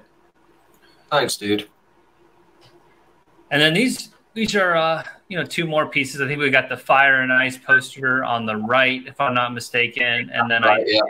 I don't recall the the name of the one on the left. The if you ever do end up buying the uh, Taschen book, it I as far as I know, it includes all the pieces Frazetta ever did, minus maybe I don't know fifty. Uh, but even then, I don't know. I mean, it's a gigantic book. It definitely has all these covers, and it's it's almost too big. Frankly, it's good for each image, but to actually like look through it, it's it's kind of difficult. right. Yeah.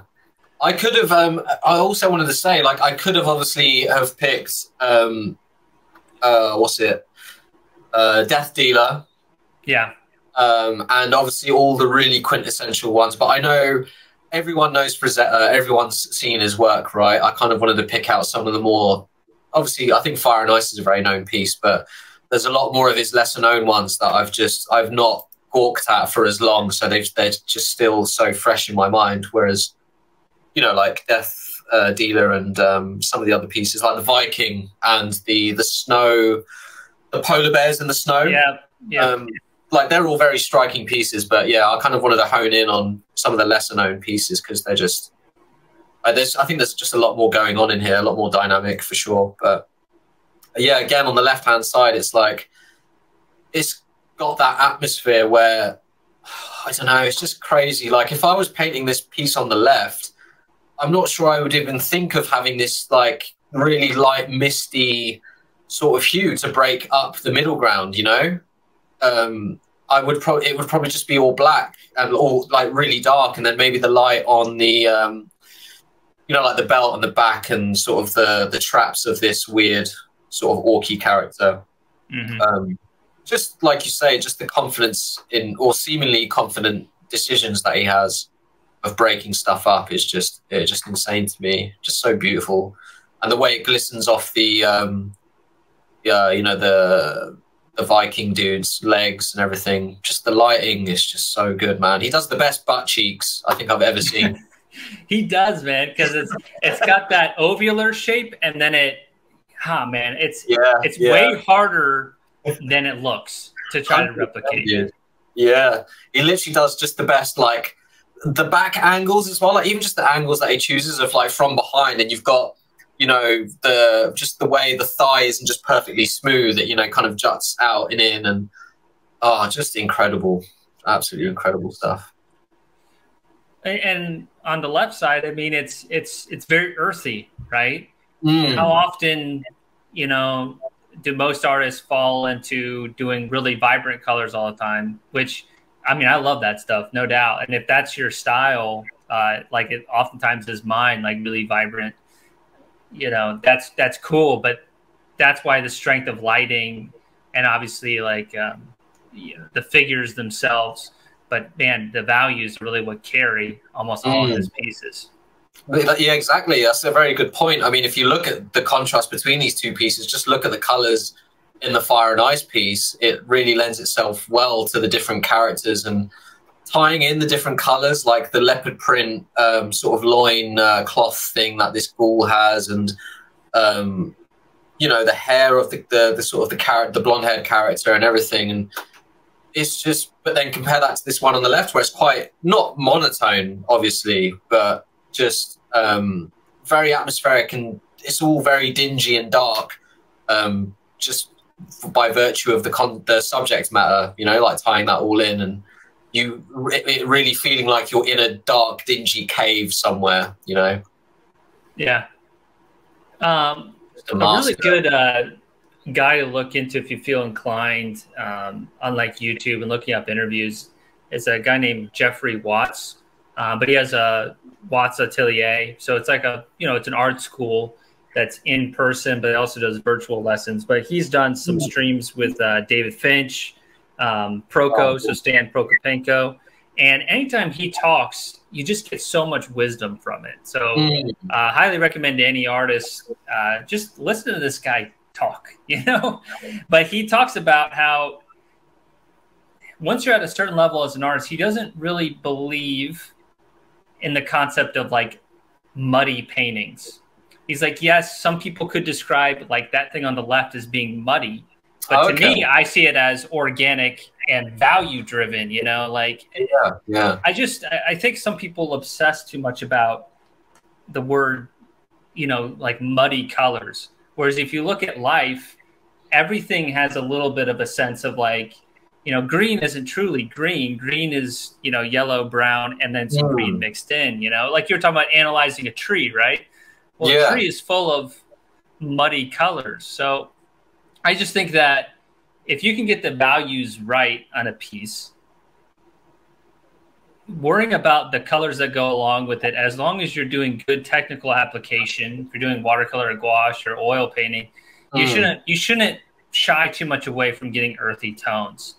That's just kind of my take on it. I'm no expert, but um, Hundred percent agree. Hundred percent. I mean, I actually really like doing quite muted, uh, monotone colors. It's only when I'm doing a commission they say, "Oh, can you make this really bright and eye-catching?" And sometimes, you know, sometimes I have to kind of bite my tongue and think, you know, at the end of the day, I'm doing a commission. You know, sometimes the customer is right, or you know, sometimes what they want is a bit more important than what I want. You know, but um, I would totally be more uh, inclined to do something like on the left, where it's very dark and dingy, and it's just all, like you say, value driven.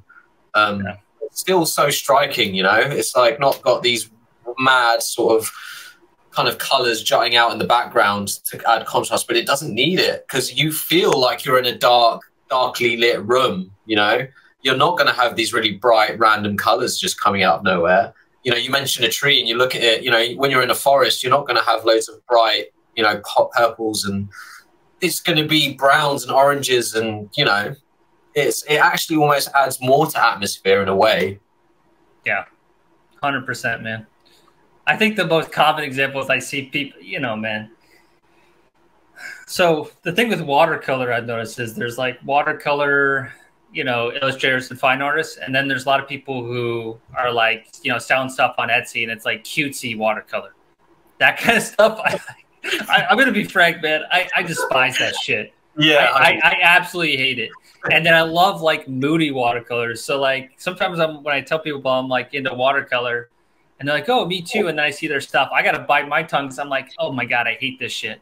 Like yeah. I don't like that stuff. I like it when there is a sense of atmosphere. You're not afraid to mix colors. You're not afraid to like have that sense of atmosphere. So yeah, maybe maybe I'm being elitist right now, but man, like that's kind of that's kind of why I love those like you know value driven pieces, especially with mm. watercolor.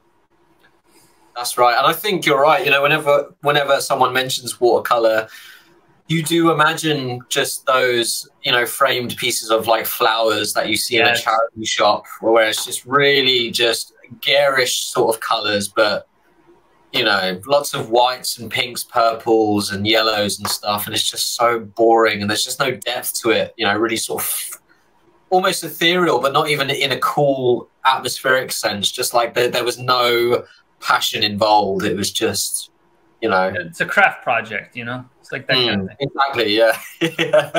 I 100% agree. I, I, don't even care if we sound elitist right now. Those kind of watercolors can do one.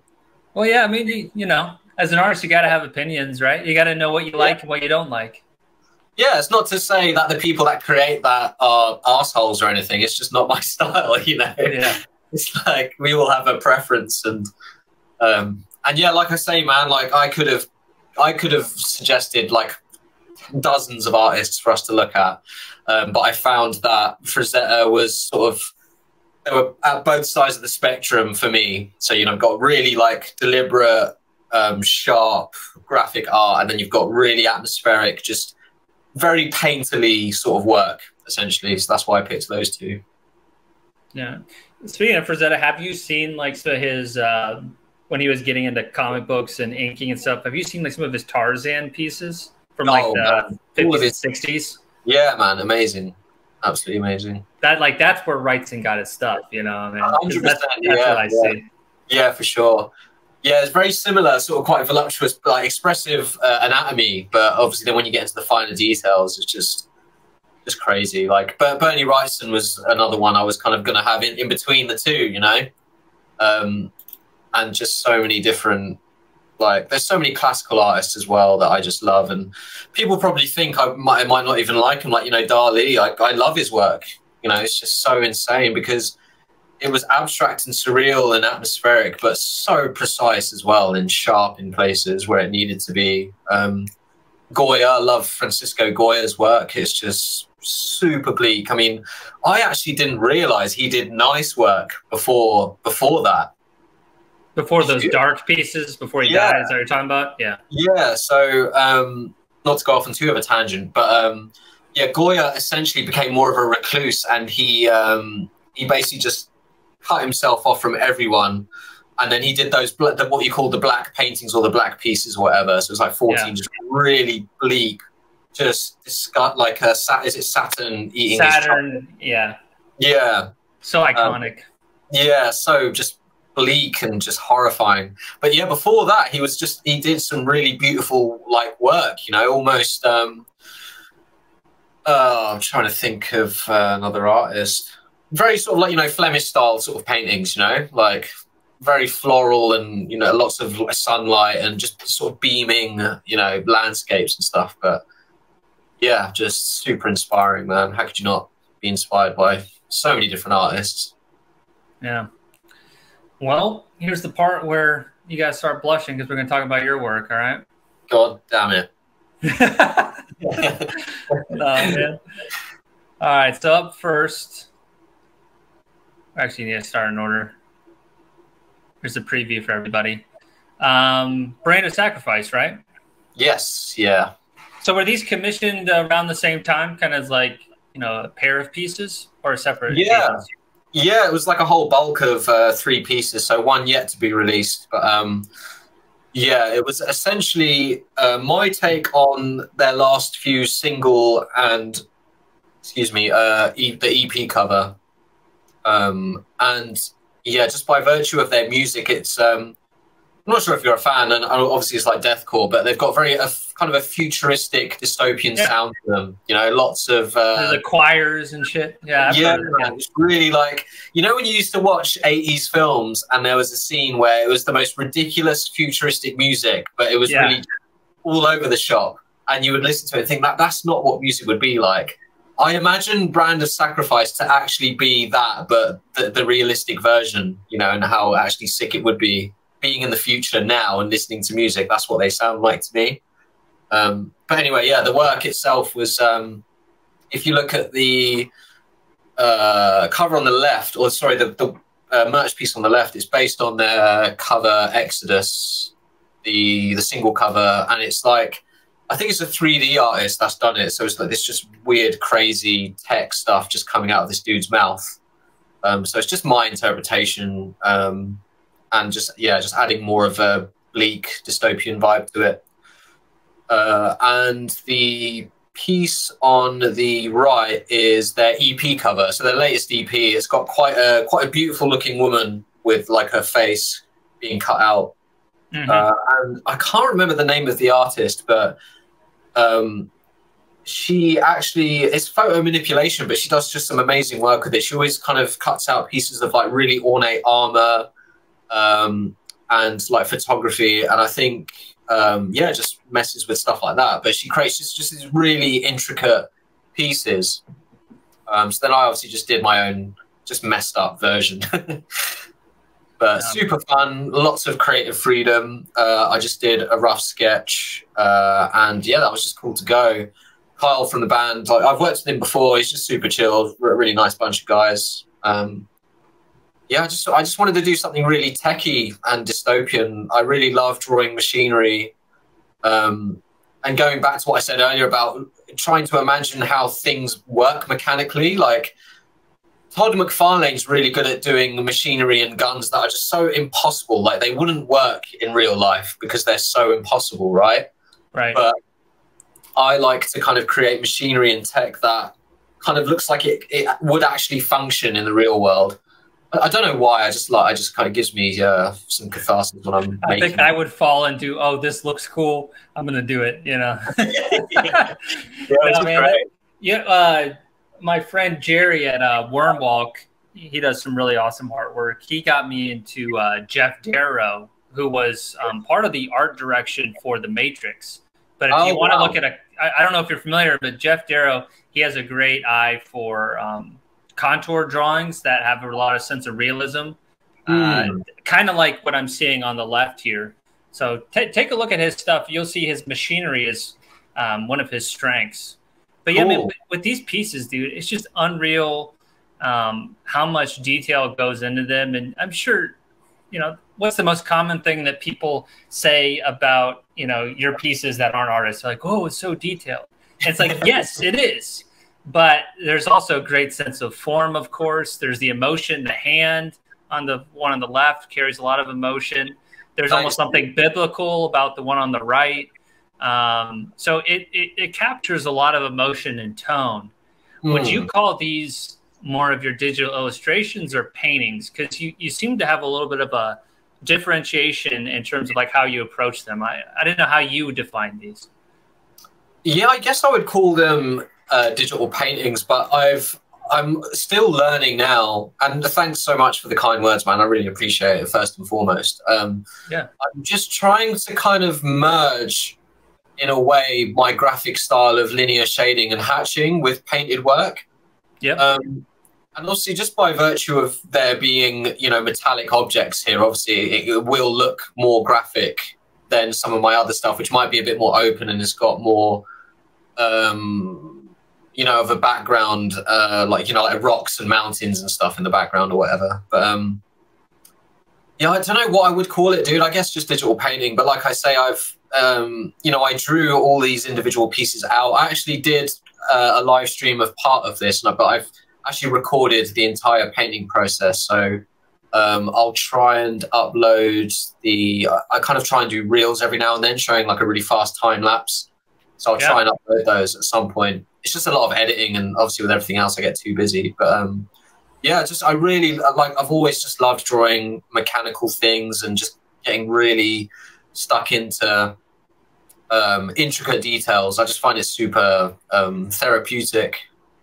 Um, and I'm still always learning. Like I find I'm very confident, not to sound arrogant or anything, but I'm confident with figure drawing now. Like I can be really expressive and I can come up with an idea in my head and just really like kind of nail it, you know, um, quite easily. But when it comes to yeah. tech sort of stuff, I'm I I feel like I'm still learning and just it's just so much fun, almost engineering and building something that could be a real machine. You know, I've just always always loved that. Um, Do you make it, a habit of looking up reference for machinery, or is it more intuitive figuring it out for each piece? It's quite intuitive, yeah. I mean, sometimes when I get stuck, I'll look at like maybe an engine, like a V8 engine from a, an American muscle car or something, because there's just so many like different tubes and shapes coming out of it or something. Yeah. Um, and again, going back to my childhood, my my dad had car parts everywhere. Like, it was just there was so much material to look at and analyze in terms of machinery and stuff like that. Um, so I've always really tried to hone in on like really sharp angular shapes and stuff and perspective, trying to nail that as well. So this this was just like so fun in that sense, like getting the perspective right, you know, engineering this sort of um, this weird sort of armor and different like joints and stuff like that and tubes and everything. That was super fun. And then obviously I try and I try and kind of inject some sort of neoclassical edge to everything that I do. Yep. Um, I love drapery and you know cloths and stuff like that. I think just adds flow and everything to it. Um, so this one on the right, I was able to, I think, hopefully merge the two, like you know, neoclassical with you know really sort of futuristic dystopian um, themes. Totally, that's definitely um, what I see. Did you do any um, mirroring and then break the mirroring for like the hand, like just so you had uh, the distance between the head and these appendages like equal, oh, yeah, or do you sure. eyeball it? Okay. Yeah, so the, the one on the left was far more dynamic, and I, obviously I had to just draw everything um, uh, by itself. But this one on the right, I kind of got the, I basically got the rough anatomy down and mirrored it, and then just made sure, like, yeah, like the distance from each side, because obviously a face could either be go like this or like this, depending on how you've drawn it. So I made sure that was all copacetic, and then um, I think I pretty much because again, like I had three of these to do, so I did actually paint quite a lot of it and then mirror it over. But then when it came to the character underneath it all, I just did that all from scratch and just by itself, you know, without any mirroring or anything like that. Yeah, well, you just add some dynamic, you know.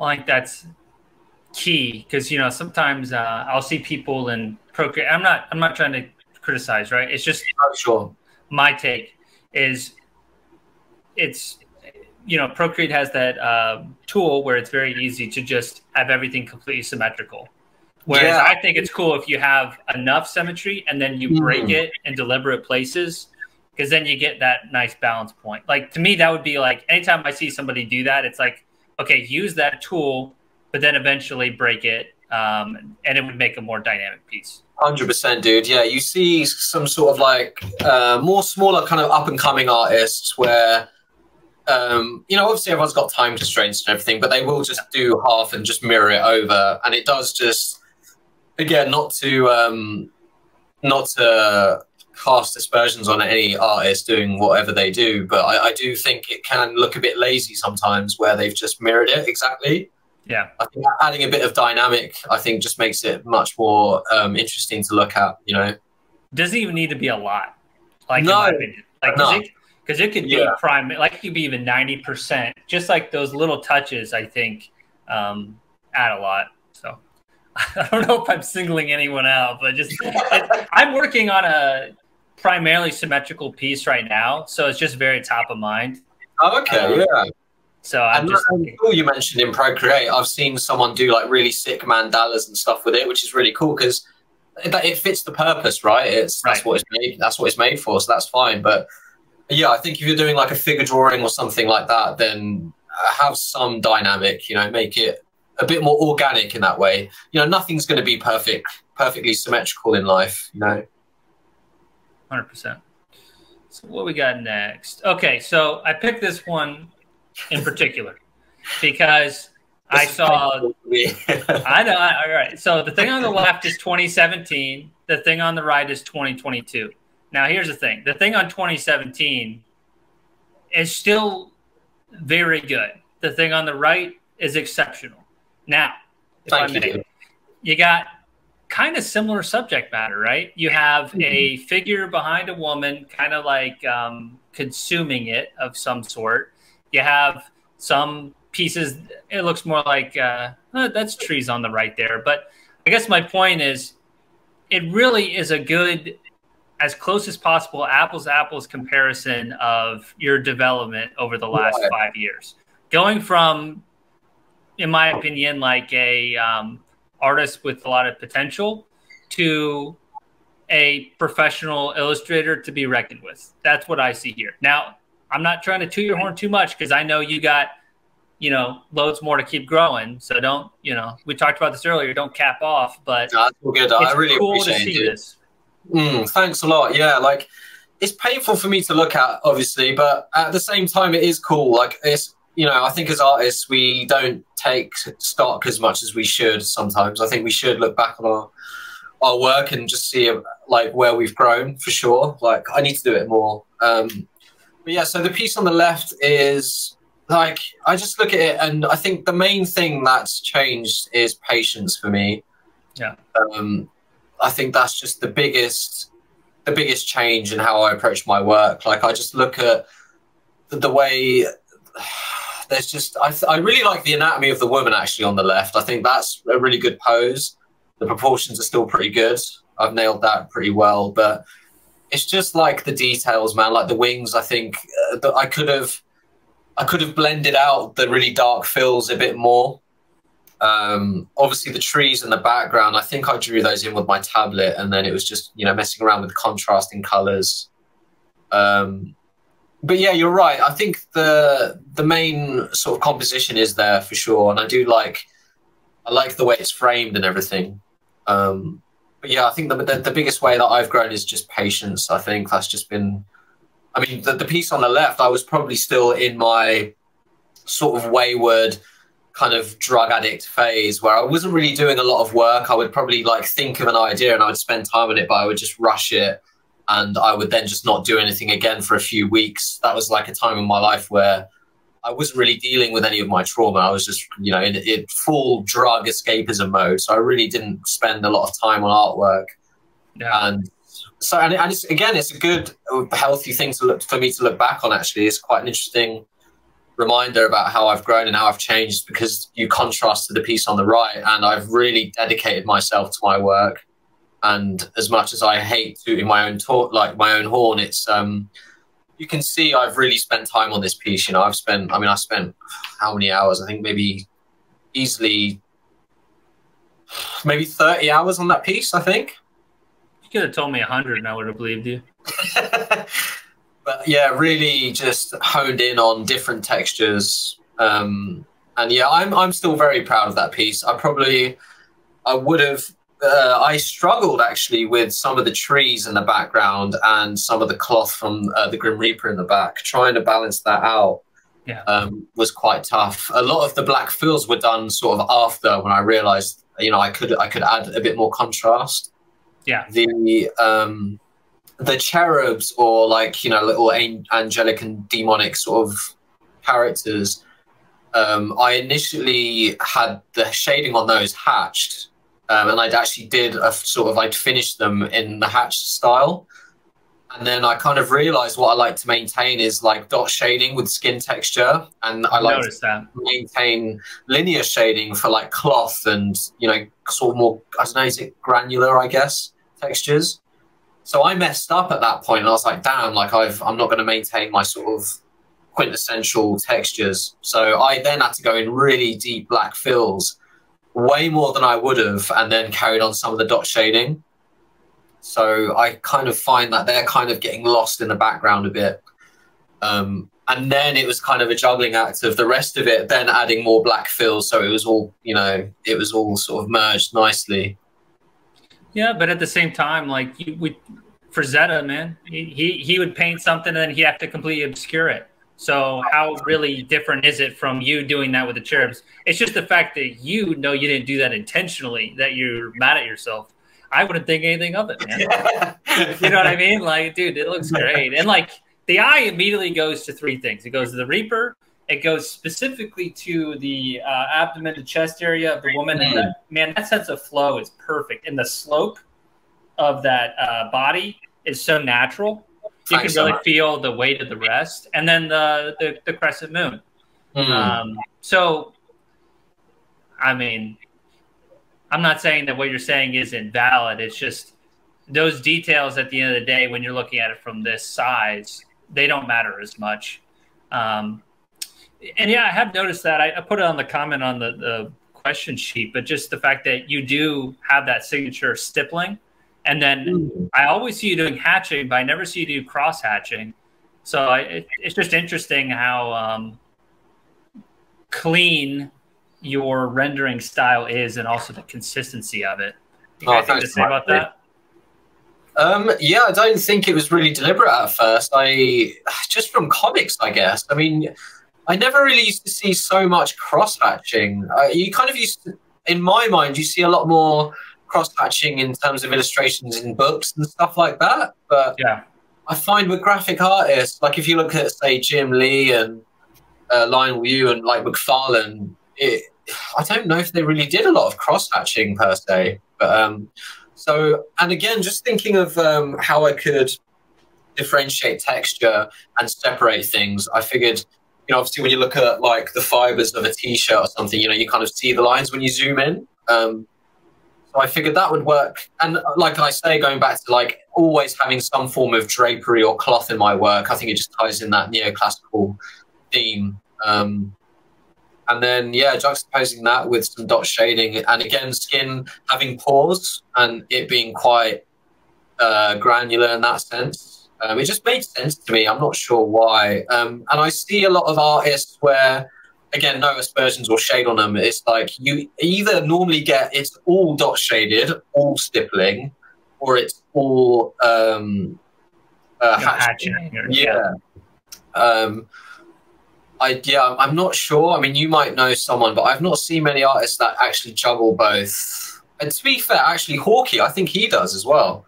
He makes well, quite a lot. I mean, Horkey, Sawblade, uh, Creep from Six Feet Deep. They're good examples of of variety in uh, rendering techniques. Yeah, true. And yeah. like and like frankly, those are like my three. Well, you as well, frankly. Um, if I'm looking at like how to render something really smoothly, I'll look at your guys' piece and I'll, I'll study them because mm. I think they're some of the best out there um, in terms of doing that right now in this mm. kind of scene. But yeah, um, the other thing was it the moon. You wanted to? Uh, did you ask about the moon? Well, yeah, I've noticed all the original pieces that you have on your website, they all have the crescent moon. So I was just wondering why you're drawn to that.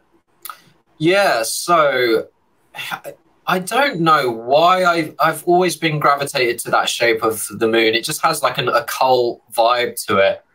You know, when you look at really sort of ritualistic satanic art, it's always, you know, nighttime, but it's always got like like this moon and obviously satanic symbolism and stuff. But I don't know, I've always just been drawn to it. And um, in a sort of in a very basic way, I kind of just wanted it to differentiate from my commission work. You know, I do so much commission work, and I just want some. I wanted something emblematic of it just being my work. You know, I wasn't it, right. it wasn't commission. This is something that I've spent my own time on. Um, and yeah, I just I don't know. Someone might think it's a bit of a cop out, but it just feels always fills that space really nicely. And just by virtue of working in subject matter that's at night time or sort of dark and transgressive, it's always sort of dark and at night time. So it just I just feel it works and it just adds a just adds a graphic distinctive symbol i think to my work where you know you can see every piece of mine hopefully people can be like that's a shindy piece because it's got a moon in it yeah very basic i guess but um yeah I've, I've always just been drawn to that shape um yeah, that's cool sometimes that's just enough i like yeah. it and it's a signature yeah yeah, thanks, dude. Yeah, again, like just yeah, blown away by all the all the, all the compliments and stuff. Like, still feels like I'm in my infancy in in terms of learning. Still, you know, I, I, it never feels like yeah, I've learned enough or like yeah, I've really killed that piece or anything. Uh, you're always keep that as long as you can, man. Yeah, for sure. Again, like you said, competition is like almost uh, an intrinsic self competition, right? You're competing with yourself, and you know that's what makes you get up the next day and and draw again. Otherwise, you why would you carry on? You just give up. You know, you'd be like, cool, I'm I'm really sick. That's it now. yeah, exactly, man. What do we got next? So I see uh, on the left here, this is a Zenith Passage. Pass, I keep doing a list when I say it. Zenith Passage. That's oh the God. one. Yeah, uh, yeah. Uh, on the left here with the um, veil, it did remind me a little bit of that. Like I saw a little bit of a similarity personally. But um and then that album on the right, that's the um you know, the cover there, that just came out what, on Friday? Uh well this uh, is yes, a week or so, so July 30th. Yeah. Mm. But uh I was listening to that album yesterday because uh, I hadn't checked it out, but I was pretty impressed by it. I thought it sounded really good. Yeah, really great band, and of course, it's you know it's been a long time coming, right? I think it's been seven years, I think, or something since their last record. Yeah. Um. So yeah, that was super fun to work on. Um, the piece on the left again, like I just wanted to tie in the neoclassical feel to it. Um, I can't remember if they had a brief per se. I think they sort of gave me the rough premise, which was us being, you know, slaves to the algorithm and technology. So that was sort of the basic brief. And then um, me almost selfishly thinking, right, I want to do more neoclassical work. I'm going to tie in the neoclassical feel. I don't want it to just all be tech, um, futuristic. And, it, you know, again, it kind of it gets a bit boring when you look at tech death art where it's a bit samey you know it's all sort of machines and techy sort of you know neon colors and stuff like that right um, so i kind of just wanted to do something a bit more uh, just a bit more different and striking so yeah just tying in that sort of almost like you know catholic mary sort of get up you know cloth and and drapery having that sort of almost you know what you'd kind of think of as intrinsically pure and beautiful from like old you know, biblical paintings against something really cold and just rotting and just grim. That's just something I, I put forward to the band pretty early on. Um, and they loved it. They were like, yeah, that's really sick. Um, let's do it. So then I kind of, like my usual thing, just fleshed it out roughly. Um, I had the kind of basic iconic image of like, you know, a Mary in the middle and then something just to frame the, the, the background.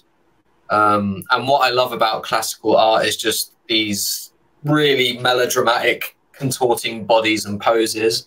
It just adds just so much more emotion to a piece, you know, so much more, um, yeah, melodrama and just um, grimness to the whole piece, you know, that really foreboding sort of feeling of this, yeah, this tech sort of god coming to, you know, eat the earth or something. I don't know. It's it's so cool, and actually, it might be one of my favorites of yours, the one on the left. I think I just love the contrast of that like '80s retro grid thing. Yeah, right. With with the the muted colors and the atmosphere that you're seeing there, and then obviously the bodies like all support it. Like it's just such a powerful image, and like thanks so much, dude. Oh man, it's uh, it's just so cool. So the actual '80s sort of um uh, what do you call it, infinity mirror thing was actually put forward by the band. So originally it yeah. was just, I did have contrasting colors in the background. It did have so have that almost rainbow esque sort of uh, gradient. Um, and yeah, they they just said something about an infinity mirror, uh, and I was at first I was a bit jarred by it. I was like, oh, I don't know if that's going to make it look a bit cheesy, but yeah, it works so perfectly. Like you say, it really just juxtaposed the you know, like future and old time, right? Like ancient and futuristic. It really just adds to that, and it just frames the the background really nicely. So I'm really stoked on that. This is actually one of my personal favorites as well, actually. So I'm really stoked you chose it. Now, how did you accomplish that then? So was that all digital then, and everything else? You know, you did the the drawing by hand. Yes, that so background. Yeah, so I think again, I, I, don't think I actually penciled any of this. I can't remember. Be pretty unforgiving if you you know misaligned a dot if you if you hand yeah, it, right. man. Yeah, I think I just drew this digitally. I think, um, and then just went straight in with painting. Yeah, um, and just built up the layers like I normally do. Yeah, I've got a very. Uh, it's not the best time lapse, but I think I've got a time lapse on my Instagram of painting. I think the bodies on the bottom half. Um, yeah, super fun to work with. Um, yeah, I really enjoyed that piece. Earthy tones, I just love earthy tones, like I said before as well. So it was really like a passion piece for me, this one. And like the subtle detail of the kind of dust collecting up to mm. bridge mm. between the figure and the uh, distorted figures at the bottom. So cool. Yeah, that was actually for once where I was, that was actually quite deliberate, where I was I was thinking about what I said earlier about actually breaking things up and adding a bit of atmosphere. It just looked far too static with just this really dark shading, you know, and I, am always learning, man. Like literally, like a few weeks ago, I was thinking like why my landscapes aren't great. I, I, don't do a lot of landscapes. Sometimes in the background of a piece like this, I will add something in the background. Um, and I realized one of my downfalls was having them detailed and having them quite starkly shaded. Whereas really, you know, if you look in the distance, everything gets lighter and more mistier and more ethereal, right? Yeah, especially if it's in daylight. Yeah, you see that sort of blue haze and just natural sort of air or displacement of air, just kind of breaking things up. Um, so that's something I wanted to do here and just add to the scale of this um, antagonist. You know, like to make him feel more giant without that, he looked very like still in the foreground and very like it just didn't have that gigantic monolithic feel to it. Um, so yeah, thanks, dude. I'm, I'm really I'm glad you picked that out because that was something that really helped the piece, um, and I'm, I'm glad I put that in there for sure. Yeah. Um, the thing on the bottom right is that that bound in fear piece that you were talking about that kind of helped you, or am I getting the bands mixed up? No, yeah, that's um, that is Bound in Fear. That's not the first cover I did with them, but that I think that's the it's kind of a combination of the second and the third because the left-hand image was the front cover of the previous album, right? Mm-hmm. And then the right-hand side was then the album, and it was sort of like a con- continuation of the story or something. I thought it was the gatefold. I thought if you opened it up, it and then revealed. It was gatefold, yeah. So basically, they had the Eternal EP, which was the, the head and the stuff coming out on the cover, and then Penance, which was the album. So then, when you had the EP and the album together, you would get that, and then also on the gatefold of the last album, you would see both as well. So it kind of all tied it in together. Sick. But yeah, that was uh, another crazy crazy piece. Um, another personal favorite of mine for sure, actually.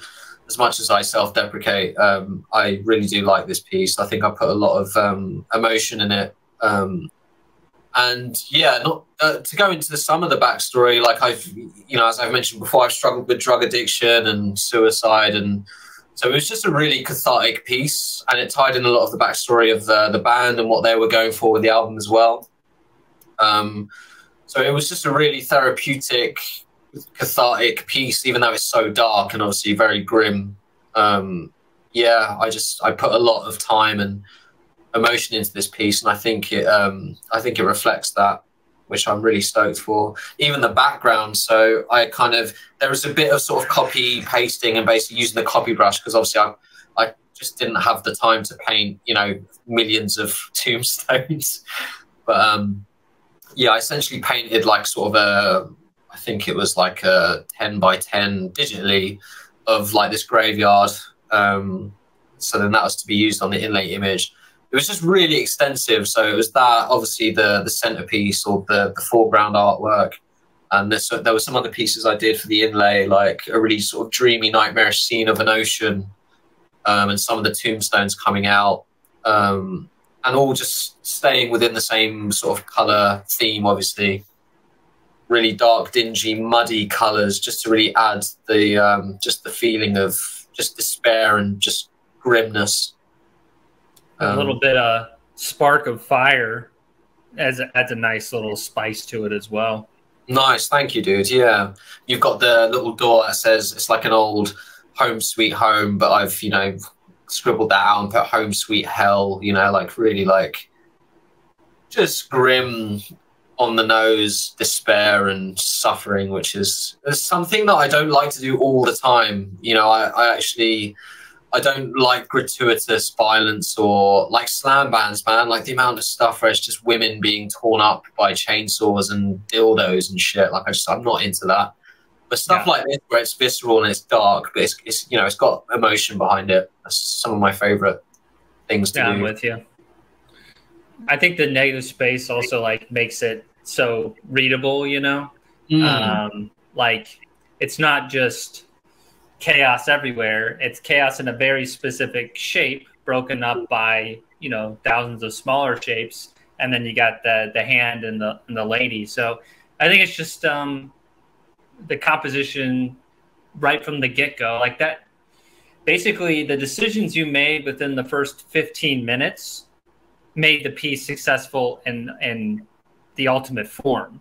If you had made bad decisions in that first 15 minutes, you would have spent you know hundreds of hours basically making something that never would have been as strong. For sure. Yeah. Thanks so much, dude. That's a really good point. Um, we really wanted to work on the flow of it as well, right? So you can see there's a flow of it going to and from. It's not as chaotic as you know you might imagine it to be.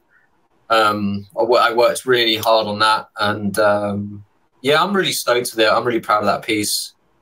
Um, it was. It's always tough juggling that amount of those amount of components. You know, it's always it just gets harder and harder. But I I really I chose really dark, stark lighting precisely for that, just so everything did have its own place. Yeah. If that was, you know, if it had like multiple light sources, like up and down, it just would have been such a mess. Like, you know, I'm pretty confident in lighting, but I think I would have struggled for sure if there was one with more than one light source. You know. Yeah, and you didn't do any reference for lighting on this, or did you take like a picture just to like have something to go off of?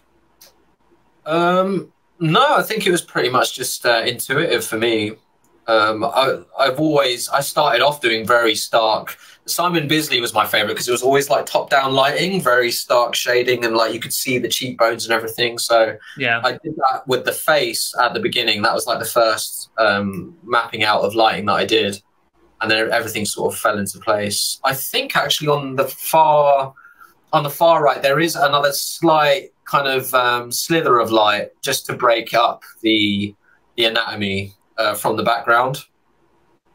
Just because I found the hand, you know, we wanted some power to, to be added to the hand and the um, the guy that's in the palm of uh, the hand as well. So there's kind of like a little slither of light just to so you can see the outline. But that's it. Yeah, that's that's remarkable, man lighting is, is definitely not one of my current strengths. At least I don't think so. I, I think using reference for me is, is very helpful. I think a lot of it is just so I don't. Um, I have I have more confidence in my decisions if I have just a little bit more uh, lighting reference. Like I'll maybe even just mm. do hmm. something and then I'll completely deviate from it. But it's just nice having something that's a little more objective to come back sure. to if yeah. you start like second guessing yourself. And and keep in mind too, man, I'm doing this isn't about me, but I do everything by hand, so my mistakes mm. are not forget. They're you know I can't. Oh, sure, un- I can't undo button. So that's that's the other part of it too that you know, it, it does make it harder. So I think that's why I uh, maybe do more reference on the get go because then I can not have that. Oh, did I fuck up? It's like no, that's actually what it looks like. I need to, you know, dive deeper. I think that's great because I mean, like again, with your style and the stuff you do, it is surreal and abstract. But I think sometimes it's good to have parameters to stay within, yeah. um, especially with lighting, because uh, yeah, you want to. I think lighting adds so much power and um, substance to a piece, gives it weight, you know. Uh, and especially when you're dealing with like the stuff that you do, which is quite chaotic and surreal, like you want each piece to be distinctive as well. So with you know the, lighting will do that for you, and if you have a clear idea of where the lighting is, everything else will just fall into place, right? And it gives it a sense of realism that I think makes surreal art really good. You know that's why Dali was so sick because. Um, yeah, it's just because in terms of the realism of the lighting, it was so good, but the subject matter was just fucking batshit crazy. Um, yeah. Uh, there's an artist you've mentioned before that is your uh, big inspiration. Is it Trevor? Uh, what's his surname? So he's a tattoo artist and he does a lot of biro work. Trevor, Trevor Bennett. That's it, Trevor Bennett. Yeah, I and before you even mentioned his name in an episode, I could see the influence for sure. Like just, I just found his stuff recently. I just found a kindred really? spirit in terms of like how he thinks. Oh, that's crazy, man. Because yeah, when I saw your work, I initially thought, man, that reminds me of Trevor Bennett. Like, and again, just really crazy, just it's insane. a stream of consciousness thing. You know, yeah, like really open, expressive, like no parameters in that sense, but the, just his shading and everything, man, is so. And the, the size of one of his pieces, I've noticed, like I don't, you can't even say how many inches it is, but it's fucking huge, but just so well done yeah, I, I, really like his stuff. And he's a really nice guy too. I reached out to him. I was like, hey man, like you've recently become one of my biggest inspirations. Um, I hope his battle with cancer is doing okay. You, you know, one artist dude you got to look up to, and um, I didn't mention earlier, but congrats on the the tattoo apprenticeship, man. That's awesome. Oh, dude, thank you. Man. Look up, look up Tony Mancia. He's an artist who used to be in Atlanta. Dude, you will love his stuff. It's uh, okay. I think it the neoclassicism, the uh, you know study of female form, it's way up your alley, man. Man, you've mentioned so much cool stuff. I need to like make a note. I, am going to message you after this and just um, we'll try. Hopefully, you can remember all of this, but I'll make a note as well. Yeah, sure. Uh, definitely him uh, for sure. Cool. Tony Mancia. Tony Mancia. Let me write this down. Really friendly guy too. Sorry, I don't mean to deviate and write a note. It's just I don't want to forget. Um, oh, no how, problem at all, man. How do you spell the surname? Uh, uh, M A N C I A. Oh, perfect. I guessed that perfectly. okay, great. Thanks. It took me a second. My American brain. I'm like, what's a surname again? say last name. So I'm like, wait a second. Uh, there's been a couple times even today. Like I, I, I love. Um, talking with people from like different countries because the way uh, even if they're English speakers, they say different words. You know, yeah. I gotta like think about them for a second. Yeah, because you guys don't say herb properly. It's got a H in there, so you pronounce the H. yeah, yeah, yeah. And then uh, when I was in the UK, do you guys say um, instead of tank tops, do you say vests? Is that uh, a thing, or am I getting mixed up? I think we say tank top sometimes, but it's mostly vest. Um, yeah. Like taps, we never say faucet. That's that's a you thing for sure. What we do you call them? Tap. Oh, okay. Yeah, yeah. Uh, I'm trying to think what other idioms there are. Um, There's a ton of them, man. There is, yeah. Yeah, I'm blanking now. There's so many that they, they just it makes me laugh. Like well, sometimes it's even like the words you say they mean the same thing in uh, you know American English, but it's just not the word that people use. You know, sometimes it's like there's substitute words, but then there's sometimes just like you guys would say something where it would not be the common way we would say it, even though we know they mean the same thing. If that makes sense. Yeah, yeah, sure. Yeah, there's so many like that as well definitely. Yeah. All right. So, uh, Punks for Autism, we got two posters, right? Here. Uh, t-shirt designs, yeah. T-shirt, okay. Uh, Yeah, just tell me about them before I start yapping about them. Cool. So yeah, um, I had total creative reign with uh, with these, and um, yeah, if you don't know them, check them out. They do some really great work, man. Like raise a lot of money for kids with autism, and just yeah, by way of just really sick artwork from some of my favorite artists. Um, they've had like Creep from Six Feet Deep, um, Colin Estrada. Uh, I think Bargain, Ben Blasphemy, Matt Stikker. Yes, Bargain, Ben Blasphemy. I love that guy. So sick. Um, yep. Yeah, so many great peers and friends and artists that I love, which is awesome. Uh, and I guess, yeah, same with them. I guess they just get total creative freedom, and it's just really cool to tie in. I, I mean, the stuff that I do isn't obviously overtly punk, um, but it's, I suppose it's still transgressive and punk in that, in that sense. But um, yeah, I, I essentially approached these like uh, personal pieces. Yeah. Um, so neoclassical sort of scenes. Um, so the first one I did was the one on the right, and it came from. I don't do many sketchbook entries anymore, uh, just by because I just don't have enough time. But I did this really. Um, I did this kind of really rough sketch, a biro sketch of this guy. He looked way younger, um, and it was exactly the same sort of pose, but then the demon character was way more like Beksinski sort of style, uh, really sort of like skeletal and decrepit and grim. Um, and uh, yeah, I just kind of I wanted to tie in more of my personal style, so then I decided to add like a you know my quintessential. I don't know what you'd call it, like um, is it succubi or is it? Uh, there's a different word for it. Yeah, no, yeah, yeah, succubi, yeah. Yeah, that sort of vibe. Um, and yeah, I mean, there's a lot of things I'd probably do differently now. I mean, I probably would have done it in dot shading. I just, um, I just think I was quite busy at the time, so hatching was just quicker for me. But I still really like this piece. Um, and then I essentially just tried to rip off Aaron Horkey in terms of the text yeah. hey man, we can rip off anybody. Like, yeah. But, like it's tough doing text. Like, oh my god. Um, and I, I, think I did a pretty good job. And I, um, I was, you know, I'm not trying to totally rip him off. I was trying to do my own thing, but I definitely, obviously, you would look at his work for inspiration uh, in terms yeah. of flow and everything. And um, I don't know. I look at it now and I think it's too symmetrical. Um, I just don't think I would have gone for the symmetrical vibe. Um, but yeah, so then this one on the left is the most recent one. So that's the piece that you mentioned where I scribbled all over um, and did a oh, post. it was okay. It was that piece, yeah. So this is the the final version where I've totally redrawn it and I yeah recolored it and everything. Um, I'm way more pleased with the text work in this one. Yeah. Uh, I, think, I think it flows a lot better and it's and it's not symmetrical, but it's still it balances itself out um, in terms of weight, which I quite like. Um, but yeah, same sort of vibe to my personal stuff, really. I've got like a chaos. So to tie in the, the punk vibe, I've got a chaos star eye thing, which I actually took inspiration from an image I saw.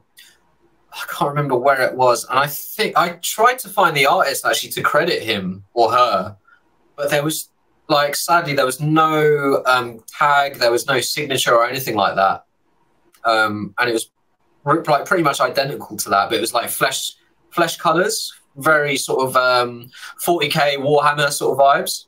Yeah.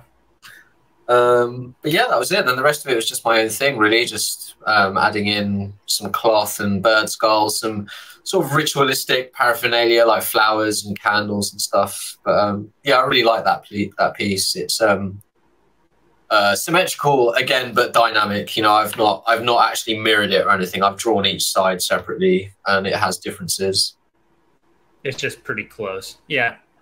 I agree. I think your lettering's stronger on the left side as well. I think it's because you know coming back to it, it has more uh, dimension. So the filigree has more dimension, where it's more mm. um, flat and graphic on the right, which yeah, is still right. it's still way better than anything I could do in terms of lettering. But like, I, I see what you mean. The one on the left is better. Thanks, dude. Yeah, yeah. I'm getting. I, I don't get to do it that much, um, really. So, and it's been a long time. Really, the only time I've had a chance to just do my own text has been with these pieces. Obviously, when you're working with bands, they have their own late logos, and you know they want it to be really big. So, um, you don't get to. I don't get to explore that side, the graphic design side anymore, the cursive typography side anymore. Um, but I'm going to try and do more of it because, um, yeah, I can definitely see I've got I've gotten better. As much as I hate to do my own horn, I've definitely improved. So that's cool. Nice. I think we're getting down to the last couple. Um, I recall specifically seeing this one on the right. The uh, is it Illustrium? Yeah, yeah. Uh, I didn't know that was your work because I do think it's it's a bit different than your other stuff. But mm. this thing got a lot of praise on the album artwork. I recall some of my friends in the um, you know vinyl and CD collecting community. They were talking a lot of things about this particular piece. Oh, amazing! That's great to hear. And then you got you know a little more landscape on the left, so a little more out of your element than some of these other pieces. So you want, oh, to talk yeah. a little bit about these two? Yeah, so uh, I think the one on the right was done before, and uh, that was um, it's quite different, and I think it's the dynamic angle. I guess it's like you know sort of zoomed in, but at a dynamic sort of uh, angle. Um, I just wanted to add add to the horror of it, I guess, in a way. And it was a very sort of quick initial sketch. The band loved it. Um, and yeah, I'm not sure. I think um, in terms of like the hand being larger and dripping this ooze, I think that might have been something the band touched on. Um, but I think that I can't remember. It was done so long ago. Sorry, give me a moment. That's fine. I mean, the uh, lighting's what I think carries that one you know, obviously yeah. the composition's sick, but like the lighting is so confident and um, realistic. Thanks, dude. Yeah, I think, um, like I say, I like drawing hands, but I, I think I would have changed some of the angles on the hands and the lighting. But um, yeah, stark light, I, that was deliberate for sure. Really stark lighting. So, you know, I wanted the face and sort of the main sort of few immediate hands to be very powerful and very like straight away in your face, um, and then the rest to kind of be like you would have to look look at it a bit more. Yeah. Um, but yeah, I, lo I, love the dark feel of like the ooze coming into the into the mouth. That's really cool. It's really sick. Uh, and the background was actually just an afterthought. Like I'd spent so much time on the foreground and getting the hands right and everything. Um, and it worked out so well. I think because it was an afterthought, and because I was then thinking, right, I need to open this up a bit more. You know, rather than drawing the whole thing all together and then going in with the details in one fell swoop, I think it really lent itself to this piece where it's, it's kind of it's way more painterly than a lot of my stuff. Yeah. Um, so I'm pretty stoked with that one. I've actually got it. You can probably see I've got the flag in the background as well. Um, oh, sick! Yeah. Well, and the uh, fact that it's also like, um, so if we think about maybe like a 10 scale values, you know, that black ooze is like as black as it gets. Yes. And then right behind it, it's not like a five, it's more like an eight in terms mm. of like um, how dark it is. So it's just enough that you can see the black ooze, but it's not detracting anything. Thanks, Whereas man. I think yeah. that's really smart. That's great to hear, dude. Thank you. Uh, I really appreciate it. And that was again, that was me really thinking, oh, because I hadn't done that, you know, all in one fell swoop, like all the black values and everything, it really gave me a moment to actually kind of look back and think, you know, I still kind of wanted the black ooze not to be too in your face. I wanted it to be very seedy and sordid in that sense, where you kind of really have to look and then see it. Yeah. Um, so yeah, I'm stoked with that, man. Uh, like it is an older piece now, so I'd, like I say, I probably would I would maybe approach some of the hands a bit differently. But um, yeah, I, am glad you chose that piece. That's a cool one. And yeah, the one on the left, man, that was really like the first time I'd ever done any sort of architecture, landscape sort of piece. And um, yeah, that was uh, a, a, tough one for me. That was yeah, it's a different tough. type of challenge.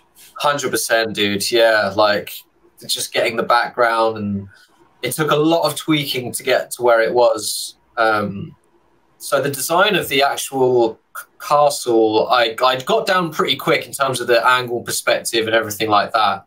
It was just juggling the light and the foreground and making sure that the snow was painterly so that the really sharp sort of rock faces were like really sharp. That would that I think initially was all very sharp and all very detailed and defined. and I had to go in all over again and actually think, actually, let me break this up a bit. Um, you know, let me add some mist um, and lighting. Uh, so yeah, it's cool. I've, I always get a lot of compliments on that piece because I think because it is so different, you know. Um, and yeah, that's with I've worked with the Sire uh, a couple of times since, uh, and yeah, we've got something else coming out soon. Obviously, don't want to reveal too much, but that's going to be actually one of my most favorite covers in a long time. Actually, it's kind of going to be. I don't want to reveal too much, but it's sort of that bound in fear sort of style. So a lot of chaos, okay, um, and detail. But I've, I'm just really proud of this one. It's super atmospheric as well. Um, so yeah, I cannot wait for that. Um, but yeah, that's the thing too. Is man, you got um, you have repeat clients, which means that you must do a good job not only with the art but also the relationship management. So kudos there. Thanks a lot, dude. Uh, one thing that really struck me about John uh, Buscema was how approachable and how professional he came across. Um, yeah, and that's an attitude I definitely I carry as well, man. Like you've got to be business minded. You know, you are working with people. You've got to be a people person. Like you know, I, am sure if you're just dealing with really edgy death metal bands, you can just be a moody prick and it will be fine. it's all good. But like, I don't know, man. Like, and I'm, I'm only joking. I don't mean that at all. Um, yeah, yeah, yeah. But uh, I think you have to be malleable. Um, you know, you have to be open minded. I think you can't be too precious with stuff. You know, you have to be you have to give them a, an experience where they think, okay, it was a challenge, but he was he did his best and he was really polite about it, and that's what brings clients back, man. Like you've got to you've got to be business minded. I think nowadays, especially. I mean, you know, with AI and social media, you can get so lost in vanity metrics and worrying about the algorithm, um, and it just really the bare bones of it is the work that you do and how you actually interact with people man that's what matters none of that other stuff like how many likes you got or how many followers you have that doesn't matter what matters really is when a band comes to you and they come back again because they've had like a good experience and you know you you know you're not you've not only given them your, your best work but you've helped realize their ideas where they wouldn't be able to get that anywhere anywhere else you know Hundred percent, man. Couldn't have said it better. Thanks, dude.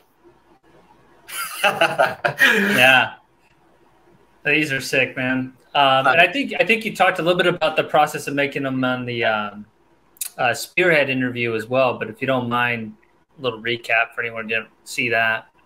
Okay, cool. Yeah, well, uh, obviously I knew the band before. Uh, they approached me. I think it was just after COVID or during COVID, uh, with the piece on the left. Um, and yeah, from the get go, I was given a really ridiculous brief, and it was way more intense than this. It's like um, really long, right? Yeah, yeah, it was like a whole paragraph, and, and, not, and, that was amazing. Actually, I actually prefer when the briefs are actually really detailed because uh, it then means I can either omit stuff or actually nail it, and you know, it's better if someone has a clear idea of what they want rather than just saying, do whatever you want because that can sometimes be a blessing and a curse sometimes where you're just like option paralysis, you know? Yeah. Uh, yeah. Massive paragraph. It was like, yeah, it needs to be, it needs to be in a factory. There's factory workers all in overalls. There's a vortex, uh, like bird nest in the top with these bodies flying out, and then this big monster ripping them apart, and the black ooze is melting their flesh. And I was like, I was just reading this like, wow, that's that's insane. Um, but I was like, do you know what? I think I can nail most of that. I think it was just the background. I think just because of how much you know he wanted to be happening in the image, I thought that a background would just distract from it and it would just be too much. Mm-hmm. Um, so I sent a sketch and it was very close to this. And the response was just laughter, like guffaw sort of laughter, because it was like so insane. And um, yeah, I've absolutely loved it as well. I was like, man, this is going to be like the most craziest, elaborate, like, but really just dark and messed up piece I, have I've done so far. Um, so that was ink, uh, pencil and ink, and yeah, I really worked tough. I really worked hard on the values because it was quite. it was tough to get like the, the black ooze, like having that really dark and prominent in there. Um, mm-hmm. In terms of inking, like how, you know, how do you draw that when you've got other things like lighting of a face and hair and uh, like cloth and everything. Uh, so that was super tough, man. And the smoke, like, it was literally just me outlining it because, again, it just, I don't know, it just all worked with this piece, luckily. It was tough, but yeah, I think I was just firing, like, not to blow my own horn, but I was just firing on all cylinders that at that point. Um, and yeah, the blood at the end, like behind it, was kind of an afterthought just to frame it, and just add to the chaos. Um the design of like the bodies like missing heads and stuff was mine and like the ghouls and that was just hilarious to, to draw up and think about. The, the and a couple things that i think really stick out too. You know you can see the comic book influence but the line of action on the monster creature is yeah. so cool with the bent back and then the mm-hmm. foreshortening of the factory worker's hand at the uh you know on the bottom there and mm. then even the foreshortening of the monster's hand. You know, really well done there. Thanks so much, man. Yeah, that was something I really wanted to make sure was super dynamic, you know. And I think my initial sketch, he he was it was that post, but it was quite static. And I, I looked at it and I was like, it needs to be really like, you know, this piece was called the Hogan, funnily enough, afterwards, like Hulk Hogan, you know, when he rips the shirt. Yeah. Uh, and it was just that thing of like, you know, he's not going to be you know, head down, neutral pose. It's going to be like really, really yep. exaggerated. You and know? you really can't even see that one arm well, which, you know, that to me, mm-hmm. that's one of the things that's so hard is like what you don't see is what messes with your head in a lot of cases. Like, wait, should you see any of this arm? And it's like, no, because if you do see it, then it flattens it. But in your case, it's all chest out and that arm out, and it, yeah. it reads right, you know? That's it. And I really wanted to make sure like it looked like this body was being pulled, right? So you've got all the fibers and the sinew and everything like literally being almost flat against the chest at that point because it's just pushing forward, you know? That was yeah super fun and I'm really, really stoked on that one. Uh, this one on the right, um, we were talking earlier about uh, like depth and like a little bit of atmospherics. So like the the darkness in which you shaded the uh, body with the lighting in the front makes mm. it immediately pop out because you must have changed the ink color for the ones behind it to be just a little less um, exactly. opaque or less black. But mm. like that's one of the things that I was um, impressed with with your work is you can create depth even if um, you know it's still based more on the color uh, coloring on top of a pen and ink approach. Thanks so much, dude. Yeah, that was. Um, I think I drew the background characters totally separate because I wanted room to play around with that because I, you know, I did want to have some sort of depth. Um, I think I drew the uh, the center character twice. I think the first one I drew, I think it was top down lighting, and then I realized because there's going to be so much stuff happening in the background he's just going to get lost in, in all of that and, and, the background, you know, the negative space. Um, so I figured having that sort of, I think like almost behind and side by side lighting, it just creates that sort of halo effect across. It's like you know. kind of like behind and then a little mm. to the at least my left here. That's what it looks like to me. Yeah, exactly. So that was just so that you know the the, the base shadow would just be in the center of all the you know the mass and the, the body parts. So so that worked out really well. And then, yeah, the bodies, again, like I said, I drew it separately because I wasn't sure how much I'd include or take out. Um, and there's a bit of, I think, I've only actually copied one of the bodies, actually, just to fill out some space. And the really smaller ones in the very foreground, where they, you know they're not very defined, they they were kind of done right at the end digitally. Uh, they, they were just outlines before, and again, I just wanted to add that sort of that distance.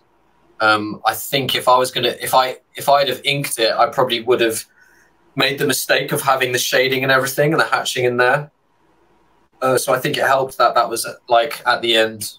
Um, yeah, another super fun piece. Like I, I got the lyrics for the song. Uh, which one was this? I'm trying to think of the name of the songs now, but um, I think I just read the lyrics and I got the idea of hands being the wings, like you know something really obscene and just bleak.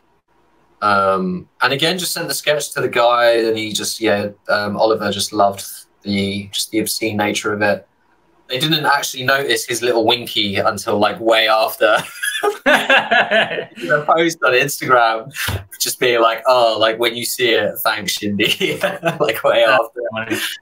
That's quite funny. Um, It reminds me, you know what it looks like to me is um all right, let's say, you know, you've seen like the Nutcracker or some ballet, right? There's that moment where they're all like in a line and then they burst out. oh, That's right, what I yeah, see. right. Yeah, yeah, yeah, yeah. It looks like a zombie ballet or something, man. Cool. That's great. Yeah, that's awesome. That's like the best uh, compliment for sure. oh, and here's some close-ups. So yeah, now you can see the uh, arm wings a little bit better on the one on the right, and then some more detail of the monster and the factory workers. That's right. Yeah. All right, and I think this and then this. Okay, we're, we're nearing the end here. I just realized I liked so much your work that I added more slides than usual. Thanks so much, man. All right, so we got Sepultura and Kreator um, with kind of a similar skull. You know, the Yeah, one's a little more angled, but I, I realized, you know, the similarity after putting them there. Yeah, I've literally only just noticed that. That's crazy. It's funny how you know you only see this sort of stuff afterwards. Uh, so yeah, Kreator was I was I think it was a friend of mine actually. He was working with um, he was working underneath the, man- management company, so he kind of hooked me up with that. Um, and yeah, obviously I just love that old school sort of thrash vibe. It was I think it was supposed to initially just be a tour poster and I was given the title, which was State of Unrest. And then that was pretty much it in terms of um, brief or any sort of um, description. Uh, so I immediately just thought riots.